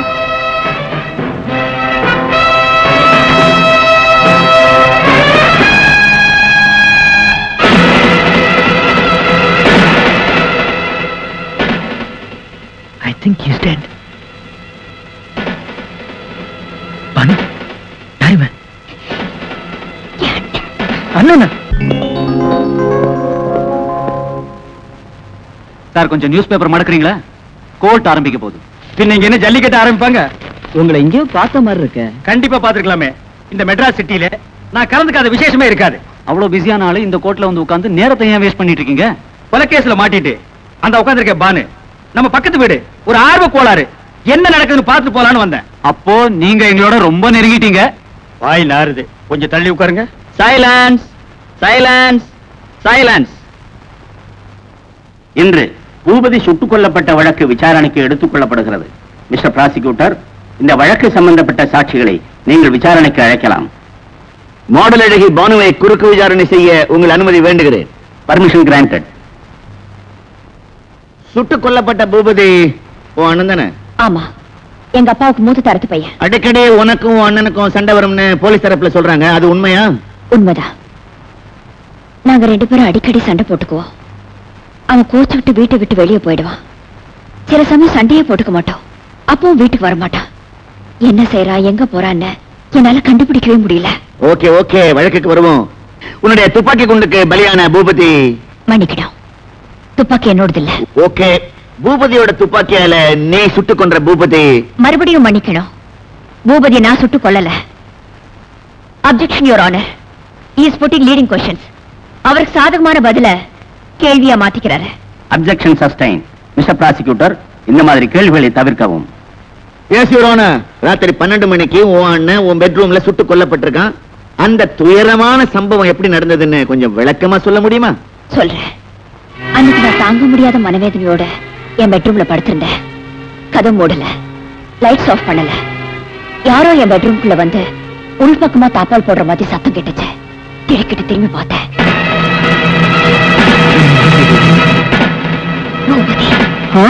பாசமுள்ள தங்கச்சி நேசமுள்ள அண்ணன் பூபதி. இத்தனை காலமா நீ எங்க போயிருந்த? வாழ்க்கையை புரிஞ்சுக்கிறதுக்காக அப்படியே தேசாந்திரம் போயிருந்தேன். பிச்சைக்காரங்கிட்ட திருடி சாப்பிடுறது எவ்வளவு சிரமம்னு தெரிஞ்சுக்கிட்டேன். அப்படின்னா பாரு உலகத்தை எந்த அளவுக்கு புரிஞ்சுக்கிட்டேன்னு? சத்திரத்துக்கு கூட டயத்துக்கு போக வேண்டியிருக்கு. கொஞ்சம் லேட்டா போனா படுக்க இடம் தர மாட்டேங்கிறாங்க பரதேசி பயலுங்க. உனக்கே இந்த கேடு கெட்ட வாழ்க்கை. அந்த மாதிரி வாழணும்னு உனக்கு என்ன நிர்பந்தம்? இருக்கே. அதனாலதான் ஒளிஞ்சு ஒளிஞ்சு வாழ்ந்துகிட்டு இருக்கேன். நீ உயிரோட இருக்க. ஆனா நான் உன்னை சுட்டு கொண்டுட்டதா போலீஸ் சொல்லுது. உன் பொண்ணத்தை வேற தேடிட்டு இருக்காங்க. நீ என்ன கொன்னுட்டதா காவல்துறையை நம்ப வச்சதுக்கு உனக்கு கோடி நமஸ்காரம். ஆனா என் தலைவலி அவங்கல்ல என் கூட்டாளிங்க. அவங்களுக்கு நீயே பயப்படணும்? பானு எங்க கள்ளக்கடத்தல் தொழில்ல ஒரு சின்ன சிக்கல். என் பாஸ் என்ன ரொம்ப நம்பினாரு. அதனால வெளிநாட்டு வியாபாரம் உன்னை கையில கொடுத்து முடிச்சிடுவான்னு அனுப்புனார். பாட்டியும் துபாயில இருந்து வந்தா ரகசியமான இடங்கள்ல சந்திச்சுதான் இந்த மாதிரி வியாபாரங்களை பேசி முடிக்கணும். அன்னைக்கு ஏகாதசி. காலையில கோவிலுக்கு போனா மறுநாள் காலையில தான் நீ வீட்டுக்கு திரும்புவ. அந்த சந்தர்ப்பத்தை பயன்படுத்தி துபாய் பாத்திய வீட்டுக்கு கூட்டு வந்தேன். இந்த பெட்ரூம்ல வச்சுதான் பேச்சுவார்த்தை நடத்தினேன். அது என்னமோ தெரியல பானு. திருஞான சம்பந்தருக்கு ஞானப்பால் குடிச்ச உடனே ஞானோதயம் பிறந்த மாதிரி திடீர்னு எனக்கு பணத்து மேல ஆசை வந்துருச்சு. அந்த துபாய்க்காரன்ட்ட சொன்னேன் நம்மள மாதிரி உண்மையான நாட்டுல கூட வச்சுக்கிட்டு உன் தலைவனு என் தலைவனு கோடி கணக்குல சம்பாதிச்சாங்க நாம செய்யற ஆபத்தான வேலைக்கு கூலி காசு தான் தராங்க. அது குடிக்கவே பத்த மாட்டேங்குது. ஒண்ணு செய்வோம். நீ கொண்டு வந்திருக்கிற பொருள் ஆளுக்கு பதியா பிரிச்சுக்கிட்டு அம்பையில ஆயிடுவோம் நல்ல யோசனை தான் சொன்னேன். அந்த நேரத்துல பக்கத்துல இருந்த என் காதலையும் அதை ஆமதிச்சா. நான் சொன்ன பிளானுக்கு துபாய் பையன் ரிவர்ஸ் கியர் போட்டான். தயவு செய்து உங்ககிட்ட இருக்கிற ரகசிய நம்பரை என்கிட்ட காட்டிட்டு பொருளை எடுத்துக்கிட்டு போய் பாஸ் கிட்ட கொடுன்னா அந்த துபாய்க்காரன். இவனை உயிரோட விட்டா துபாய்க்கு திரும்புறதுக்குள்ள கண்டிப்பா என் பாச சந்திப்பான். நான் போட்ட சதி திட்டத்தை சொல்லிடுவான். அடுத்த நிமிஷமே எங்க தலைவன் தலைய கிள்ளி கடல்ல எரிஞ்சிருவான் அதை நினைச்சு பார்த்தேன். எனக்கு பொறி தட்டிடுச்சு கை துப்பாக்கி எடுத்தேன். துபாய்க்காரனை சுட்டு கொண்டுட்டேன் நான் அந்த துபாய்க்காரன் பணத்தை தோட்டத்து பக்கமா இழுத்துட்டு போய் கார் டிக்கியில போடுறத யாராவது பாத்துருவாங்களோன்னு சந்தேகப்பட்டேன். ஏன்னா நம்ம வீட்டுல துப்பாக்கி குண்டு வெடிச்சிருக்கு. அந்த சத்தம் அக்கம் பக்கத்துக்காரங்களுக்கு கேட்டிருக்கும். அதனால ஆள் நடமாட்டம் இருக்கான்னு நம்ம வீட்டை அவங்க வாட்ச் பண்றதுக்கு சந்தர்ப்பம் இருக்கும். எல்லார் கண்ணையும் மண்ண தூணும்னு நினைச்சு ஒரு சின்ன தந்திரம் பண்ணேன். என் பல் செட்டை கழட்டி நம்ம தோட்டத்துல செடியோரமா போட்டுட்டேன். அந்த பல் செட்டை பாக்குறவங்க சுடப்பட்டது நான் தான் இழுத்துட்டு போற போன என்னுடையதான்னு நம்புவாங்கன்னு நினைச்சேன். நம்பிட்டாங்க. நீ பண்ணின ஒரு கொலைக்கு நான் போலீஸ்ல மாட்டிக்கிட்டு சித்திரவதை அனுபவிக்கிறேன். ஏதோ? என்னால முடிஞ்ச சின்ன உதவி. வாய் மூடுறா. மரியாதையை இப்பவே போய் போலீஸ்ல சரணடைஞ்சிரு. நீ செஞ்ச கொலைக்கு நீதிமன்றம் என்ன தண்டனை கொடுக்குதோ அது ஏத்துக்கிறது தான் நியாயம். நான் பண்ணின கொலை என் கூட்டத்துக்கு தெரியாது போலீஸ்க்கு தெரியாது. நான் உயிரோட இருக்கிறது வெளியே தெரிஞ்சிச்சுன்னு வச்சுக்க. ரெண்டு பேர்கிட்டயும் மாட்டிக்குவேன். அதனால டக்கரா ஒரு பிளானோட வந்திருக்கேன். உலகத்தை பொறுத்த வரைக்கும் இந்த பூபதி சுட்டுக் கொல்லப்பட்டவன். அதனால வேற ஒரு பேர்ல பாஸ்போர்ட் எடுத்து என் காதலியை கூட்டிக்கிட்டு வெளிநாட்டுல போய் செட்டில் ஆக போறேன். பண உதவி கேட்டுதான் பாசமலரை பார்க்க வந்திருக்கேன். என்கிட்ட தம்படி காசு கூட கிடையாது. சும்மா துப்பாக்கியை கட்டி மிரட்டாத. உன் அழகான முகத்தை இந்த கைத்துப்பாக்கி அலங்கோலப்படுத்தி. பணத்தை எங்க ஒளிச்சு வச்சிருக்க மரியாதையா சொல்லு. பூபதி நான் சொல்றது கேளு. என்கிட்ட பணம் இல்ல. வீண மேல சந்தேகப்படாத. பாஸ்போர்ட் வேலை நிறைய இருக்கு. சீக்கிரம் கூட இல்ல சுற்றுவேன்.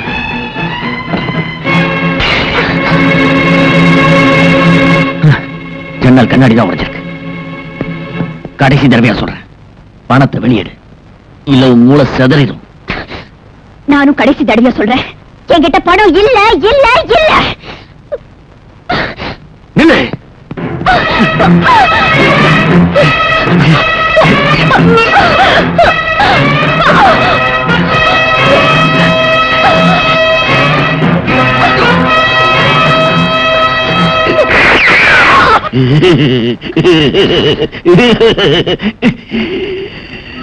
Ha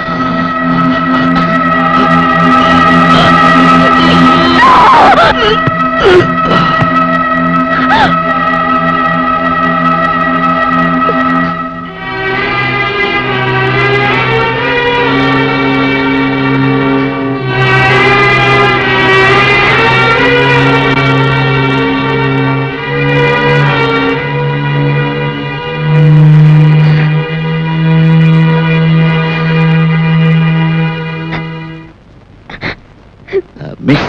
கம் டவுன் ஏம்மா நீ ரொம்ப உணர்ச்சி வசப்படுற மாதிரி தெரியுதே. தொடர்ந்து உன்னால சாட்சி அளிக்க முடியுமா? எஸ் பிரசீத் எனக்கு குறி வச்சு நீட்டப்பட்ட கை துப்பாக்கிய அவன்கிட்ட இருந்து பறிக்கிறதுக்காக போராடினேன் எங்களுக்குள்ள நடந்த இழுபறி போராட்டத்துல திடீர்னு கை துப்பாக்கில இருந்து குண்டு வெடிச்சிருச்சு. அவன் ஆலமரம் மாதிரி கீழே விழுந்துட்டான். அவன் கையில இருந்த துப்பாக்கி எப்படி என் கைக்கு வந்ததுன்னு எனக்கு தெரியல.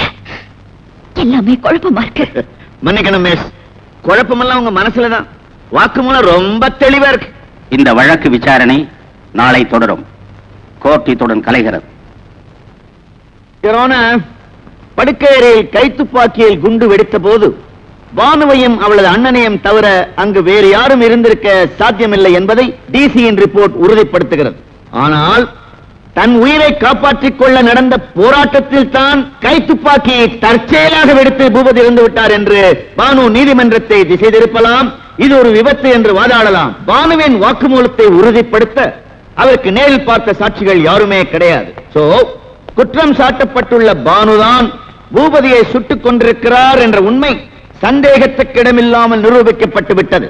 எனவே மாடலழகி பானுவுக்கு அதிகபட்ச தண்டனை வழங்கி தீர்ப்பளிக்குமாறு வேண்டிக் கொள்கிறேன். கோச்சார் அவர்களே இந்த வழக்கு சம்பந்தமா எனக்கு சில உண்மைகள் தெரியும். என் சாட்சியத்தையும் தயவு செய்து நீங்க கேட்கணும். சாட்சி கொண்டு வாங்க.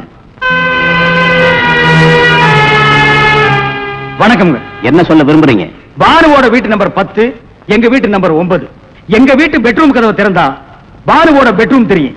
பானுவோட பெட்ரூம் ஜன்னலை திறந்தா எங்க வீட்டு பெட்ரூம் தெரியும். நீங்க பார்த்த விஷயத்தை சொல்லுங்க. மாடியில என் பெட்ரூம்ல நல்லா தூங்கிட்டு இருந்தேன். திடீர்னு கண்ணாடி உடையிற சத்தம் கேட்டது. இந்தியா டுடேல தூக்கம் கரைஞ்சு போச்சு. பானுவோட பெட்ரூம்ல ஜன்னல் கண்ணாடி உடைஞ்சிருந்தது. ஸ்கிரீன் லேசா விலகி இருந்தது. உள்ள என்ன நடக்குதுன்னு என்னால நல்லா பார்க்க முடிஞ்சது. பானுவும் அவன் அண்ணன் பூபதியும் எதிர்முதுமா நின்னுட்டு இருந்தாங்க. இந்தியா டுடேல பூபதியை பார்த்த உடனே நான் ரொம்ப சாக்காகிட்டேன் ஏன்? ஆறு மாசத்துக்கு முன்னாலே அவன் செத்து போயிட்டு தான் நாங்கெல்லாம் நம்பிட்டு இருந்தோம். அதனாலதான் உத்து பார்த்தேன். அவன் கையில கை துப்பாக்கி இருந்தது. அவன் சுட பாக்குறான் அந்த பொண்ணு தடுக்க பாக்குது இந்த போராட்டத்துல துப்பாக்கி பூபதி கையில் இருக்கும் போது குண்டு வெடிச்சது. குண்டு வெடிக்கும் போது கை துப்பாக்கி பூபதி கையில் தான் இருந்ததுன்னு உங்களால நிச்சயமா சொல்ல முடியுமா? எத்தனை கோயில்ல வேணாலும் உருண்டு உருண்டு தாண்டி தாண்டி சத்தியம் பண்ண முடியும். இவ்வளவு முக்கியமான தகவலை நீங்க ஏன் இத்தனை நாள் போலீஸ்ல சொல்லாம மறைச்சீங்க? வம்பு தும்புல மாட்டிக்குவாங்கிற பயத்துல இந்த விஷயத்தை நான் போலீஸ்ல சொல்லல. கோர்ட்ல பொய் சாட்சி சொன்னா என்ன தண்டனை கிடைக்கும்னு உங்களுக்கு தெரியுமா? நல்லாவே தெரியும். மடியில கனம் இல்ல. அதனால எனக்கு பயம் இல்ல. சரி நீங்க போகலாம். வர்றேங்க. வர்றேங்க. இந்த வழக்கின் தீர்ப்பு வேறொரு தேதியில் அறிவிக்கப்படும். தன்னை ஜாமீனில் விடுதலை செய்ய வேண்டும் என்று ஏற்கனவே பானு இந்த கோர்ட்டில் தாக்கல் செய்திருந்த மனுவின் பேரில் இந்த வழக்கின் தீர்ப்பு அறிவிக்கப்படும் வரை அவரை ஜாமீனில் விடுதலை செய்ய உத்தரவிடுகிறேன். இந்த மாதிரி பானு இந்தியா டுடேல நீ எதுக்கு கவலைப்படாது? தற்செயலா துப்பாக்கி குண்டு வெடிச்சு தான் பூபதி செத்தான்னு நீ கோர்ட்ல வாக்குமூலம் கொடுத்த ஆனா அதை நிரூபிக்க நேர்ல பார்த்த சாட்சி இல்லைன்னு அரசாங்க வக்கீல் சொன்னான். நான் உடனே பூந்துட்டேன். கூண்டுல ஏறினேன். நேர்ல பார்த்த சாட்சி நான் தான் சொன்னேன். அங்கிருந்த அத்தனை பேர் ஆடி போயிட்டாங்க. நான் கொடுத்த வாக்குமூலம் ஒன்னே போதும். ஜட்ஜ் உன்னை விடுதலை பண்ணிடுவாரு. பயப்படாத. பானு உன் கையில் இருக்கிற பேப்பர் கொடு. குடே. குடே. குடே கோர்ட்ல நீ கொடுத்த வாக்குமூலத்துல ஒரு முக்கியமான விஷயத்தை ரொம்ப கெட்டிக்காரத்தனமா மூடி மறைச்சிட்ட. அந்த சின்ன விஷயம்தான் இந்த சின்னப்பாவுக்கு ஒரு நல்ல வழியை காட்டியிருக்கு. ஆஹா இது சாதாரண காகிதமா? இந்த வெறுப்பைய சின்னப்பாவை வெறும் புள்ளியா மாத்த போற மந்திர கோல். சரி சரி. யாராவது வந்துட்டு போறாங்க. வாங்க கீழே போ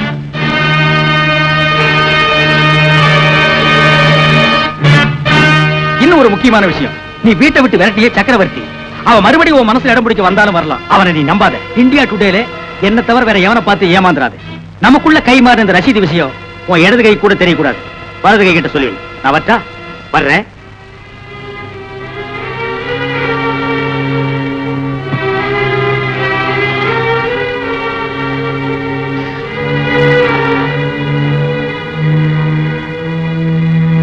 பானு.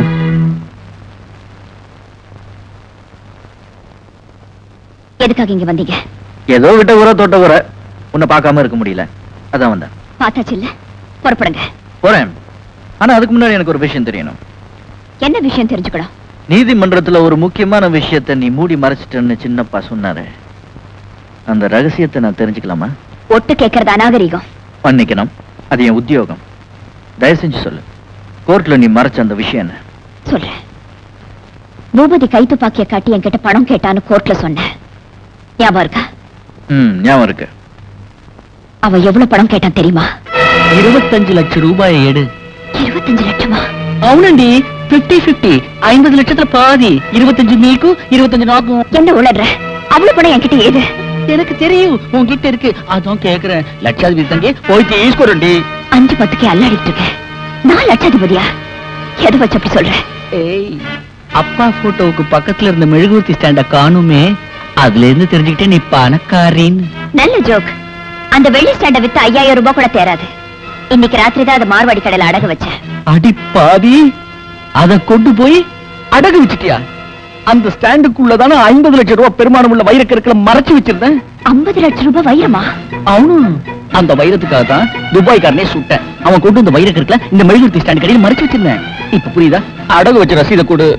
முடியாது. முத கொலைக்கு பிறகு துப்பாக்கியை யூஸ் பண்ணவே இல்ல.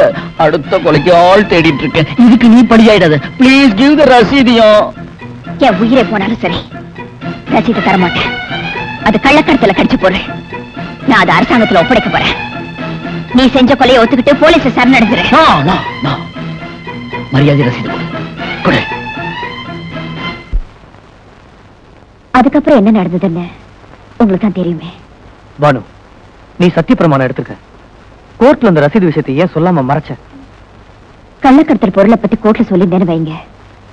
விலையுயர்ந்த அந்த வைரக்கற்கள் மேல ஆசைப்பட்டுதான் ஆதாயத்துக்காக அண்ணனை சுட்டு கொன்னேன்னு போலீஸும் அரசாங்க வக்கீலும் சேர்ந்து கேஸ் ஜோடனை பண்ணி என்ன கோர்ட்ல நிறுத்தி எனக்கு தூக்கு தண்டனை வாங்கி கொடுத்துருப்பாங்க. ஓகே. கோர்ட்ல நீ இந்த ரசீது விஷயத்தை சொல்லாம மறைச்சதுக்கு காரணத்தை சொல்லிட்டேன். ஃபைன் இப்ப நான் கேக்குறேன்.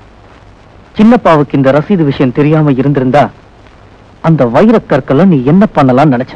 அது கள்ளக்கடத்தல் பொருள் எனக்கு தேவையில்லை.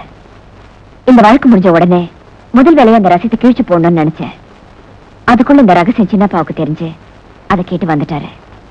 சரியா தொலைஞ்சது நான் அவர் கையில கொடுத்துட்டேன். இப்பதான் மனசு நிம்மதியா இருக்கு. சின்னப்பா உண்மையிலே அதிர்ஷ்டசாலி தான் உன் பெட்ரூம்ல என்ன நடந்ததுன்னு எட்டி பார்த்ததுக்கு ஐம்பது லட்சம் ரூபாய் வைர கற்களை சன்மானமா வாங்கிட்டு போயிட்டான். ம்? ஒரு உண்மையை சொன்னா அதிர்ச்சி அடைஞ்சிருவீங்க. என்ன? அன்னைக்கு ராத்திரி என் பெட்ரூம்ல நடந்த சம்பவத்தை சின்னப்பா பார்க்கவே இல்லை. பானு என்ன? வெடிகுண்டு தூக்கி போடுற?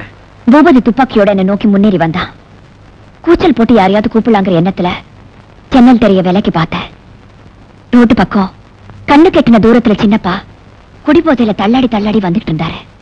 அவர் வீட்டுக்கு கூட திறந்திருக்க மாட்டாரு. அதுக்குள்ள என் ரூம்ல துப்பாக்கி வெடிச்சிருச்சு. அப்படின்னா மெழுகுவர்த்தி ஸ்டாண்டுக்குள்ள வைரக்கற்கள் இருந்த ரகசியமும் அதை அடமானம் வச்ச ரசீது உன்கிட்ட இருந்த விஷயமும் சின்னப்பாவுக்கு எப்படி தெரியும்? இதே கேள்வியை தான் நான் சின்னப்பாவை கேட்டேன். அதுக்கு அவர் என்ன பதில் சொன்னார் தெரியுமா? நான் பார்த்தா என்ன? என் சித்தப்பா எத்ராஜ் பார்த்தா என்னன்னு சொன்னாரு. ஓஹோ நடந்த விஷயங்களை தந்திரமா எத்ராஜ் மூலமா சின்னப்பா தெரிஞ்சிட்டு இருக்கார் கோர்ட்ல என்ன நடக்குதுன்னு வந்து வாட்ச் பண்ணிருக்கார் வைரங்கள் விஷயத்தை நீ கோர்ட்ல சொல்லாம மறைச்சிட்ட. இது அவருக்கு சாதகமா போயிருச்சு. பின்னாடி உன்னை மிரட்டி உன்கிட்ட இருந்து ரசீதை வாங்கிக்கலாங்கிற எண்ணத்துல இன்னைக்கு கோர்ட்ல வலிய வந்து உனக்கு சாதகமா பொய் சாட்சி சொல்லியிருக்கார். இதை நாம உடனே போலீஸ்ல சொல்லி ஆகணும் வேண்டாம் இன்னொரு தடவை நான் கோர்ட்ல போய் நிக்கணும். சின்னப்பா ஒரு மோசமான ஆளு. வைரங்களை தரேன்னு ஆசை காட்டி நான் தான் சின்னப்பாவை கோர்ட்ல பொய் சாட்சி சொல்ல சொன்னதா? துணிஞ்சு ஒரு பொய் சொன்னாலும் சொல்லுவாரு எனக்கு பயமா இருக்கு. முதல்ல மார்வாடி கடைக்கு போகணும். மெழுகுவர்த்தி ஸ்டாண்டு சின்ன பக்கையில சிக்கிறதுக்குள்ள அவர் மடக்கணும். கமான் நமஸ்தே சேட். அரே நமஸ்தே ஜி. உங்களுக்கு என்ன வேணும்? முதல்ல உட்கார வேணும். இந்தியா டுடேல அடகு வச்ச நகையை திருப்பிட்டு போக வந்திருக்கேன். பாப்கோ ஜி. கடை வியாபாரம் முடிஞ்சு சேட்டு கணக்கை க்ளோஸ் பண்ணிட்டான்.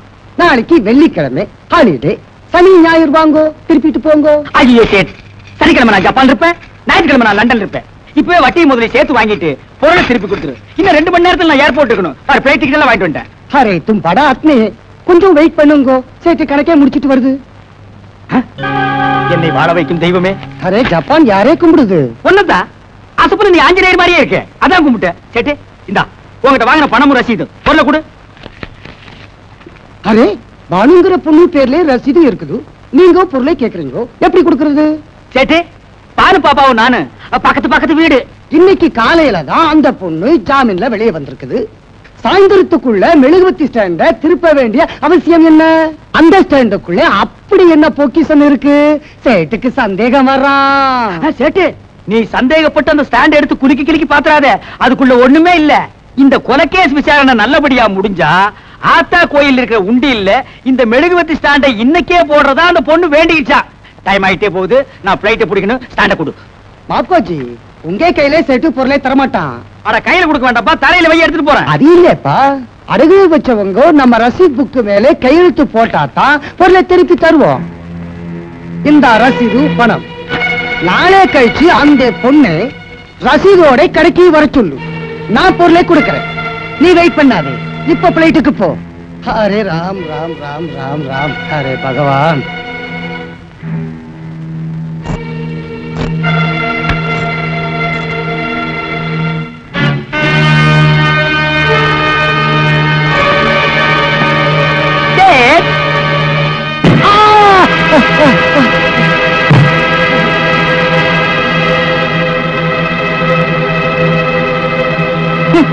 பால்ல பிஸ்தா போட்டு சாப்பிடுறானுங்க. ஒரே அடியில பொட்டுன்னு போயிட்டானே. இந்தியா டுடேல ரெண்டாவது அடிக்கு சான்ஸே கொடுக்கலையே.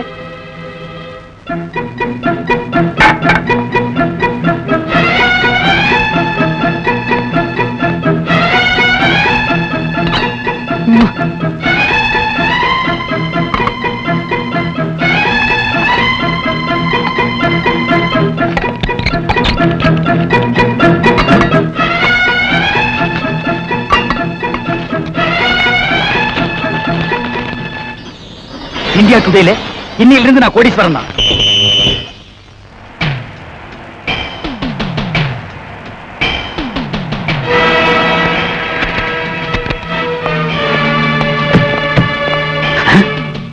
அடி பாவி இந்த ரசீதி விஷயம் யாருக்கு தெரியாதுன்னு நினைச்சிட்டு இருந்தேன். போலீஸ்காரனை கூட்டிட்டு வந்துட்டாளே. இப்படி நம்பிக்கை துரோகம் செய்வான்னு தெரிஞ்சிருந்தா இந்தியா டுடேல முதல்ல இவ்வளவு க்ளோஸ் பண்ணிருப்பேன்.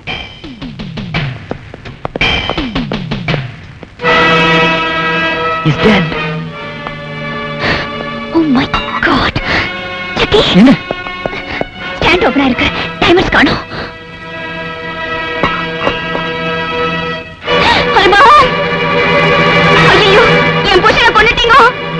நாங்க கொல்லல. கொன்னுட்டாங்க ஓடிடுங்க பையன் நம்ம மேல விழுந்துருச்சு. கூச்சல் போட்டு ஊரை கொட்டுறா. Come on let's go let's go ஏ பகவான் என் புருஷனை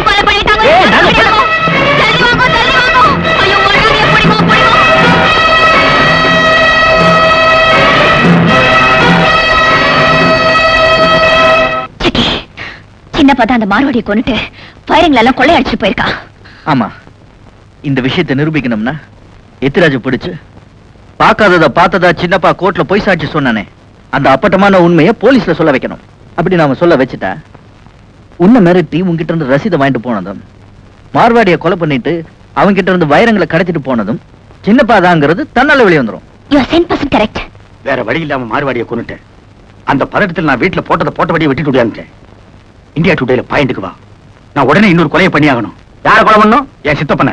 எத்திராஜியா ஏன் எதுக்குன்னு விவரமா உங்களுக்கு நான் அப்புறம் சொல்றேன். என் சித்தப்பன் வைத்தியத்துக்காக வெளியூர் போயிருக்கான். அவனை அங்கேயே அப்படியே சிவலோகத்துக்கு அனுப்பணும்.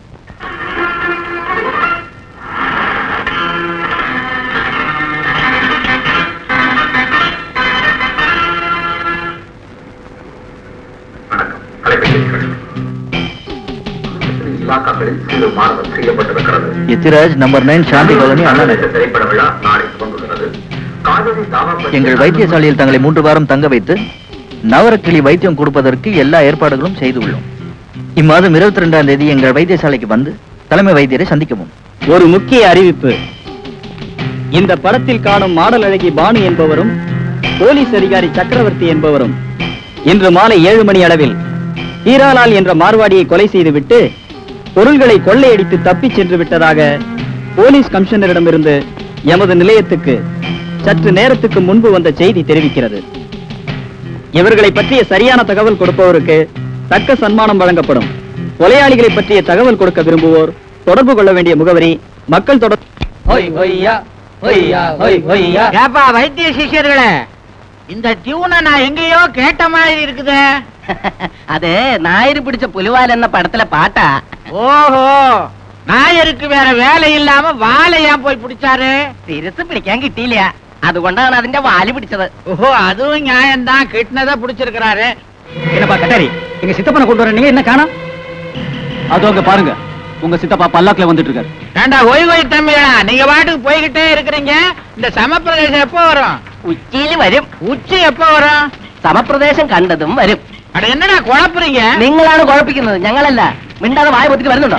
குருவி நம்ம வலையில விழுந்துருச்சு இனிமேல் லேகியம் பண்ணிட வேண்டியதுதான் வந்தவனுக்கு சித்தப்பனை വെച്ചിട്ട് வச்சுட்டு போட்டோம் നമ്മ நம்ம கதையை வச்சுக்குவோம் இப்ப நம்ம ஒழிஞ்சுக்குவோம் ஆல் അലൗട്ട് സാറേ നിങ്ങൾ ഇവിടെ തന്നെ ഇരിക്കണം. ഞങ്ങൾ കാട്ടിൽ പോയിട്ട് വരാം. എന്നായാ ഇത്? എന്നെ തനിയാ വിട്ടിട്ട് നീங்க കാട്ടുകൂടെ காட்டுக்குள்ள போறீங்க സാറേ ഞങ്ങൾ മൂലിക പറിച്ചിട്ട് വന്ന് അരച്ച് പിഴിഞ്ഞ്.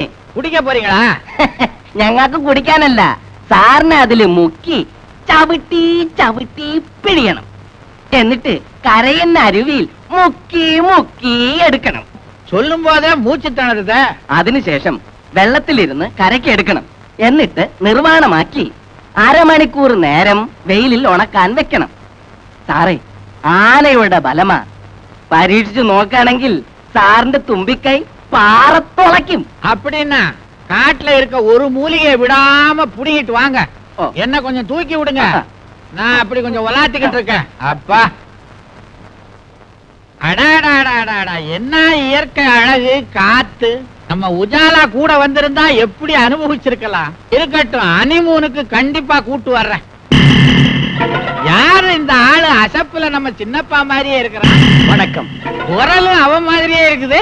மாதிரி இல்ல. நான் சின்னப்பாவே தான். நீ எங்கடா திடீர்னு இங்க வந்திருக்கிற? உனக்கு கடைசி கடமையை செய்ய? வந்திருக்கேன். கடைசி கடமையா? ஆமா. நான் காதலிச்ச பொண்ணை எனக்கு கல்யாணம் பண்ணி வச்சு கண்குளிர நீ பாப்பேன்னு நினைச்சேன். அவளை மடக்கி நீ கட்டிக்க பாக்குற. என்ன பொறுத்த வரைக்கும் நீ சித்தப்பா இல்ல செத்தப்பா. உன்னை வளர்த்து ஆளாக்குன இந்த சித்தப்பாவை இப்படி பேசுறியே அது பெரிய துரோகம். நீ எனக்கு செஞ்சதுதான் பெரிய துரோகம். ஆனா ஆண்டவன் எனக்கு யோகத்தை கொடுத்திருக்கான். பல லட்சம் பொறுமான வைரத்துக்கு நான் சொந்தக்காரனாக போறேன்.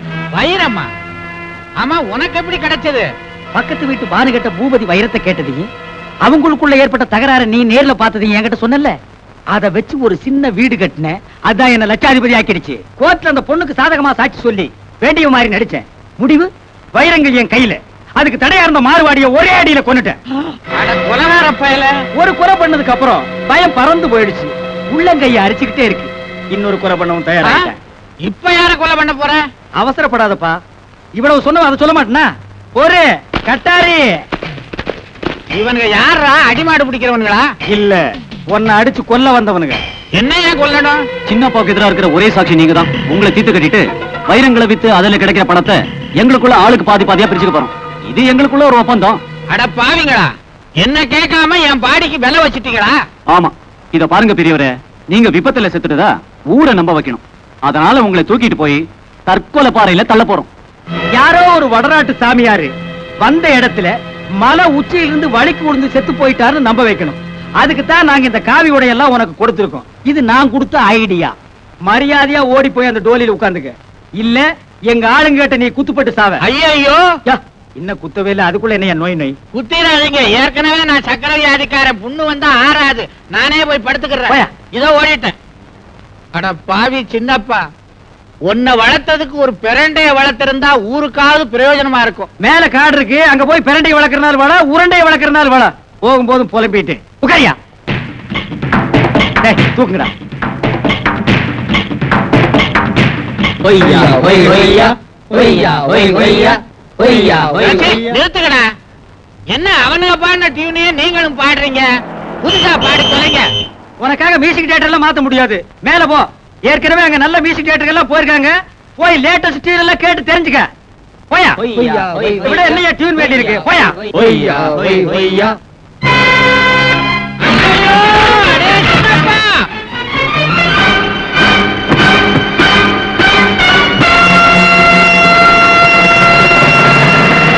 நாங்க சொன்னபடி உன் சித்தப்பனை கொன்னுட்டோம். இப்போ சொல்லு வைரத்தை எங்க மறைச்சு வச்சிருக்க? நீ இன்னொரு கொலை செய்ய வேண்டியிருக்கு. அதை செஞ்சு முடி. அப்புறம் வைரத்தை பங்கு போட்டுக்குவோம். அடுத்த ஆள் யாரு? அவன் எங்க இருக்கான்னு சொல்லு. அவன் வேற யாரும் இல்ல. பானுவோட காதலன் சக்கரவர்த்தி. அவன் எந்த நேரமும் என்ன தேடி இங்க வரலாம். அவனை தீர்த்து கட்டணும். அதுக்கு முன்னால ஒன்ன தீர்த்து கட்டணும். என்னடா பாக்குறீங்க? நான் தான். சித்தப்பா செத்தவங்க ஆவியா மாறுறதுக்கு குறைஞ்சது பதினஞ்சு நாளாவது ஆகும். நீ எப்படி பதினஞ்சு நிமிஷத்துல மாறின? எனக்கு ஒரு அவசர பிரச்சனை அதுதான் வந்துட்டேன். அப்படி என்ன அவசர பிரச்சனை? அடைய கொலகார பாவி உன்னை இப்படியே விட்டுட்டா இந்த கொலை பண்றத நீ குடிசை தொழிலாக்கிடுவ. உனக்கு ஜென்ம தண்டனை வாங்கி கொடுத்து உன்னை ஜெயில போடணும். அதுக்காக ஒரு போலீஸ் ஆபீசரை கையோட கூட்டு வந்திருக்க. யமலோகத்துல கூட போலீஸ் இருக்கா? நான் ஏன்டா யமலோகத்துக்கு போறேன் உங்க ஆளுங்க என்ன பாதாளத்துல தள்ளி விட்ட உடனே சக்கரவர்த்தி தம்பி வந்து என்ன காப்பாத்திட்டாரு. சக்கரவர்த்தி வந்துட்டானா? எஸ் மிஸ்டர் சின்னப்பா எங்க அந்த வைரம்? தம்மா துண்டு வைரத்துக்கு எத்தனை பேர் பங்குக்கு வருவீங்க? ஷட் அப் நீ செஞ்ச அத்தனை குற்றங்களுக்கும் ஆதாரம் இருக்கு.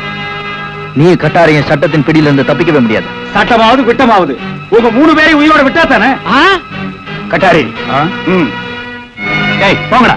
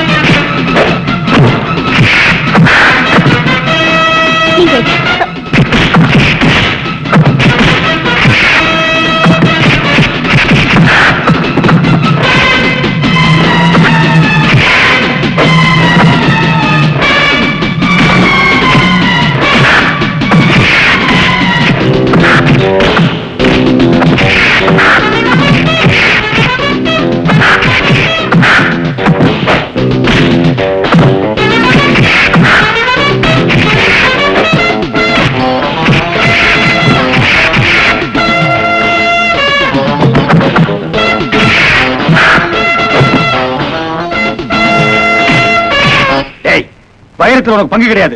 உதவாங்க விஷயம் பாவி? போலீஸ்கார வராண்டா ஓடியாங்களா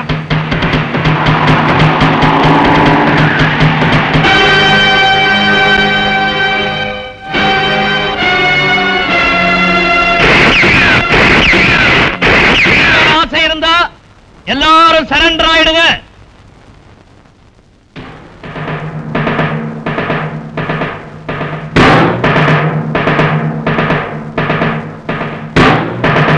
Surround them sir please listen to me நடந்தது விளக்கமா நான் சொல்றேன். உன் விளக்கம் எதுவும் தேவையில்லை. நீ ஒரு போலீஸ் ஆபீசர் ஆனா இப்படி ஒரு கொலையை பண்ணிட்டு என் முன்னாடி கைதியா வந்து நிப்பேன் நான் கொஞ்சம் கூட எதிர்பார்க்கல. இவர disgrace to our department sir மார்வாடியை கொலை பண்ணது நான் இல்ல. இந்த சின்னப்பா தான் இவர் எதுக்காக அந்த கொலை செய்யணும்? அது அது காரணம் இருக்கு சார் எங்க வீட்ல இருந்த மெழுகுவத்தி ஸ்டாண்ட்ல கள்ளக்கடத்தல் வைரங்களை எங்க அண்ணன் பூபதி ஒளிச்சு வச்சிருந்தான். இந்த விஷயத்தை கோர்ட்ல நான் சொல்லாம மறைச்சிட்டேன். சின்னப்பா அதை சாதகமா பயன்படுத்திக்கிட்டு எனக்கு உதவி செய்யற மாதிரி கோர்ட்ல போய் சாட்சி சொன்னாரு. என் வீட்டுக்கு வந்து என்ன பிளாக்மெயில் பண்ணாரு. சின்னப்பா கூண்டுல ஏறி சாட்சி சொன்னதுக்காக அந்த அடமான ரசீது என்கிட்ட சன்மானமா கேட்டாரு. ரசீதுக்கு பின்னாடி உள்ள பின்னணி என்னங்கறத நான் தெரிஞ்சுக்கிட்டேன். சின்னப்பா வைரங்களை கைப்பற்றுறதுக்கு முன்னாடி அவர் பிடிச்சு போலீஸ்ல ஒப்படைக்கணுங்கிறதுக்காக பானு கூட்டிட்டு அடகு கடைக்கு போனேன். அதுக்குள்ள சின்னப்பா மார்வாடியை கொன்னுட்டு வைரங்களை எடுத்துட்டு ஓடிப்பிட்டாரு சந்தர்ப்பமும் சூழ்நிலையும் எங்களை குற்றவாளியாக்கிடுச்சு. நாங்க நிரபராதி நிரூபிக்கணும்னா எதிராஜ கோர்ட்ல கொண்டு போய் நிறுத்தி உண்மைகளை சொல்ல வைக்கணும். அந்த கட்டாயத்துக்காக தான் அவரை தேடி நாங்க இங்க வந்தோம். ஆனா அதுக்குள்ள இந்த சின்னப்பா இந்த ஆளுங்களை கூட்டிக்கிட்டு எங்களை முந்திக்கிட்டு எதிராஜ கொலை பண்ண இங்க வந்துட்டாரு. சரியான நேரத்தில் நான் போய் அவரை காப்பாத்திட்டேன். ஆமா சார். தம்பி சொல்றது உண்மைதான். பானு வீட்டுல நடந்த அந்த அசம்பாவிதத்தை கண்ணால பார்த்தது நான் தான் அந்த விஷயத்தை சின்னப்பா கிட்ட நான் சொன்னேன். இந்த கிராதக நான் வெளியூர் வந்ததை சாதகமா எடுத்துக்கிட்டு இந்த ஆட்டம் ஆடி இருக்கான் சார். இவனையும் இவன் பின்னால இருக்கிற ஆட்களையும் முட்டிக்கு முட்டி தட்டி விலங்க போட்டு கொண்டு போங்க.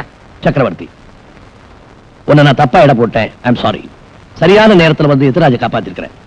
அது மாத்திரம் இல்ல உலகாரனை கண்டுபிடிக்க பெருமுயற்சிகள் எடுத்திருக்கிறேன். பாராட்டுக்கள். தேங்க்யூ சார் மிஸ் பானு ஒரு நேர்மையான போலீஸ் அதிகாரியை உன்னுடைய வருங்கால கணவரா தேர்ந்தெடுத்திருக்கேன். வாழ்த்துக்கள். சக்கரவர்த்தி இந்த கூட்டத்தை கைது பண்ணி மெட்ராஸ் கொண்டு வர வேண்டியது உன் பொறுப்பு. எஸ் சார் பூபதியின் கொலை வழக்கில் வீடியோ கடை அதிபர் எத்திராஜ் கொடுத்த வாக்குமூலத்தை நீதிமன்றம் ஏற்றுக்கொள்கிறது. இந்த கொலை வழக்கில் சந்தேகத்தின் சலுகையை பானுவுக்கு வழங்கி அவரை விடுதலை செய்ய உத்தரவிடுகிறேன்.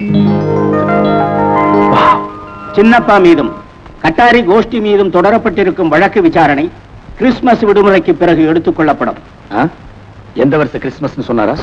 என்னடா கோட்டை விட போடுறீங்க? அதுவரை குற்றம் சாட்டப்பட்ட நபர்களின் காவலை நீடிக்கும்படி உத்தரவிடுகிறேன். காவல்னா? என்ன அஞ்சு நாளா அஞ்சு வருஷமா? இந்தியா டுடேல ஒண்ணுமே புரியலையாப்பா. இத்துடன் கோர்ட் கலைகிறது. அடே சின்னப்பா ஒரு நல்ல பொண்ணா பார்த்து தாலி கயிறை என் கையால எடுத்து கொடுத்து உன்னை கட்ட சொல்லான்னு நினைச்சேன். நீ என்னடான்னா தூக்கு கயிறை கையில எடுத்துக்கிட்ட? கெடுவான் கேடு நினைப்பான். நடமேன். சார் இந்தியா டுடேல இந்த மேன்கின்னு சொல்றதெல்லாம் எனக்கு பிடிக்காது. Per day one thousand two thousand சம்பாதிக்கிற வீடியோ கேமரா மேன் ஜென்ட்லா கூப்பிடுங்க சார் நடடா ராஸ்கல் இது நல்லா இருக்கு. இதைய ஃபாலோ பண்ணுங்க.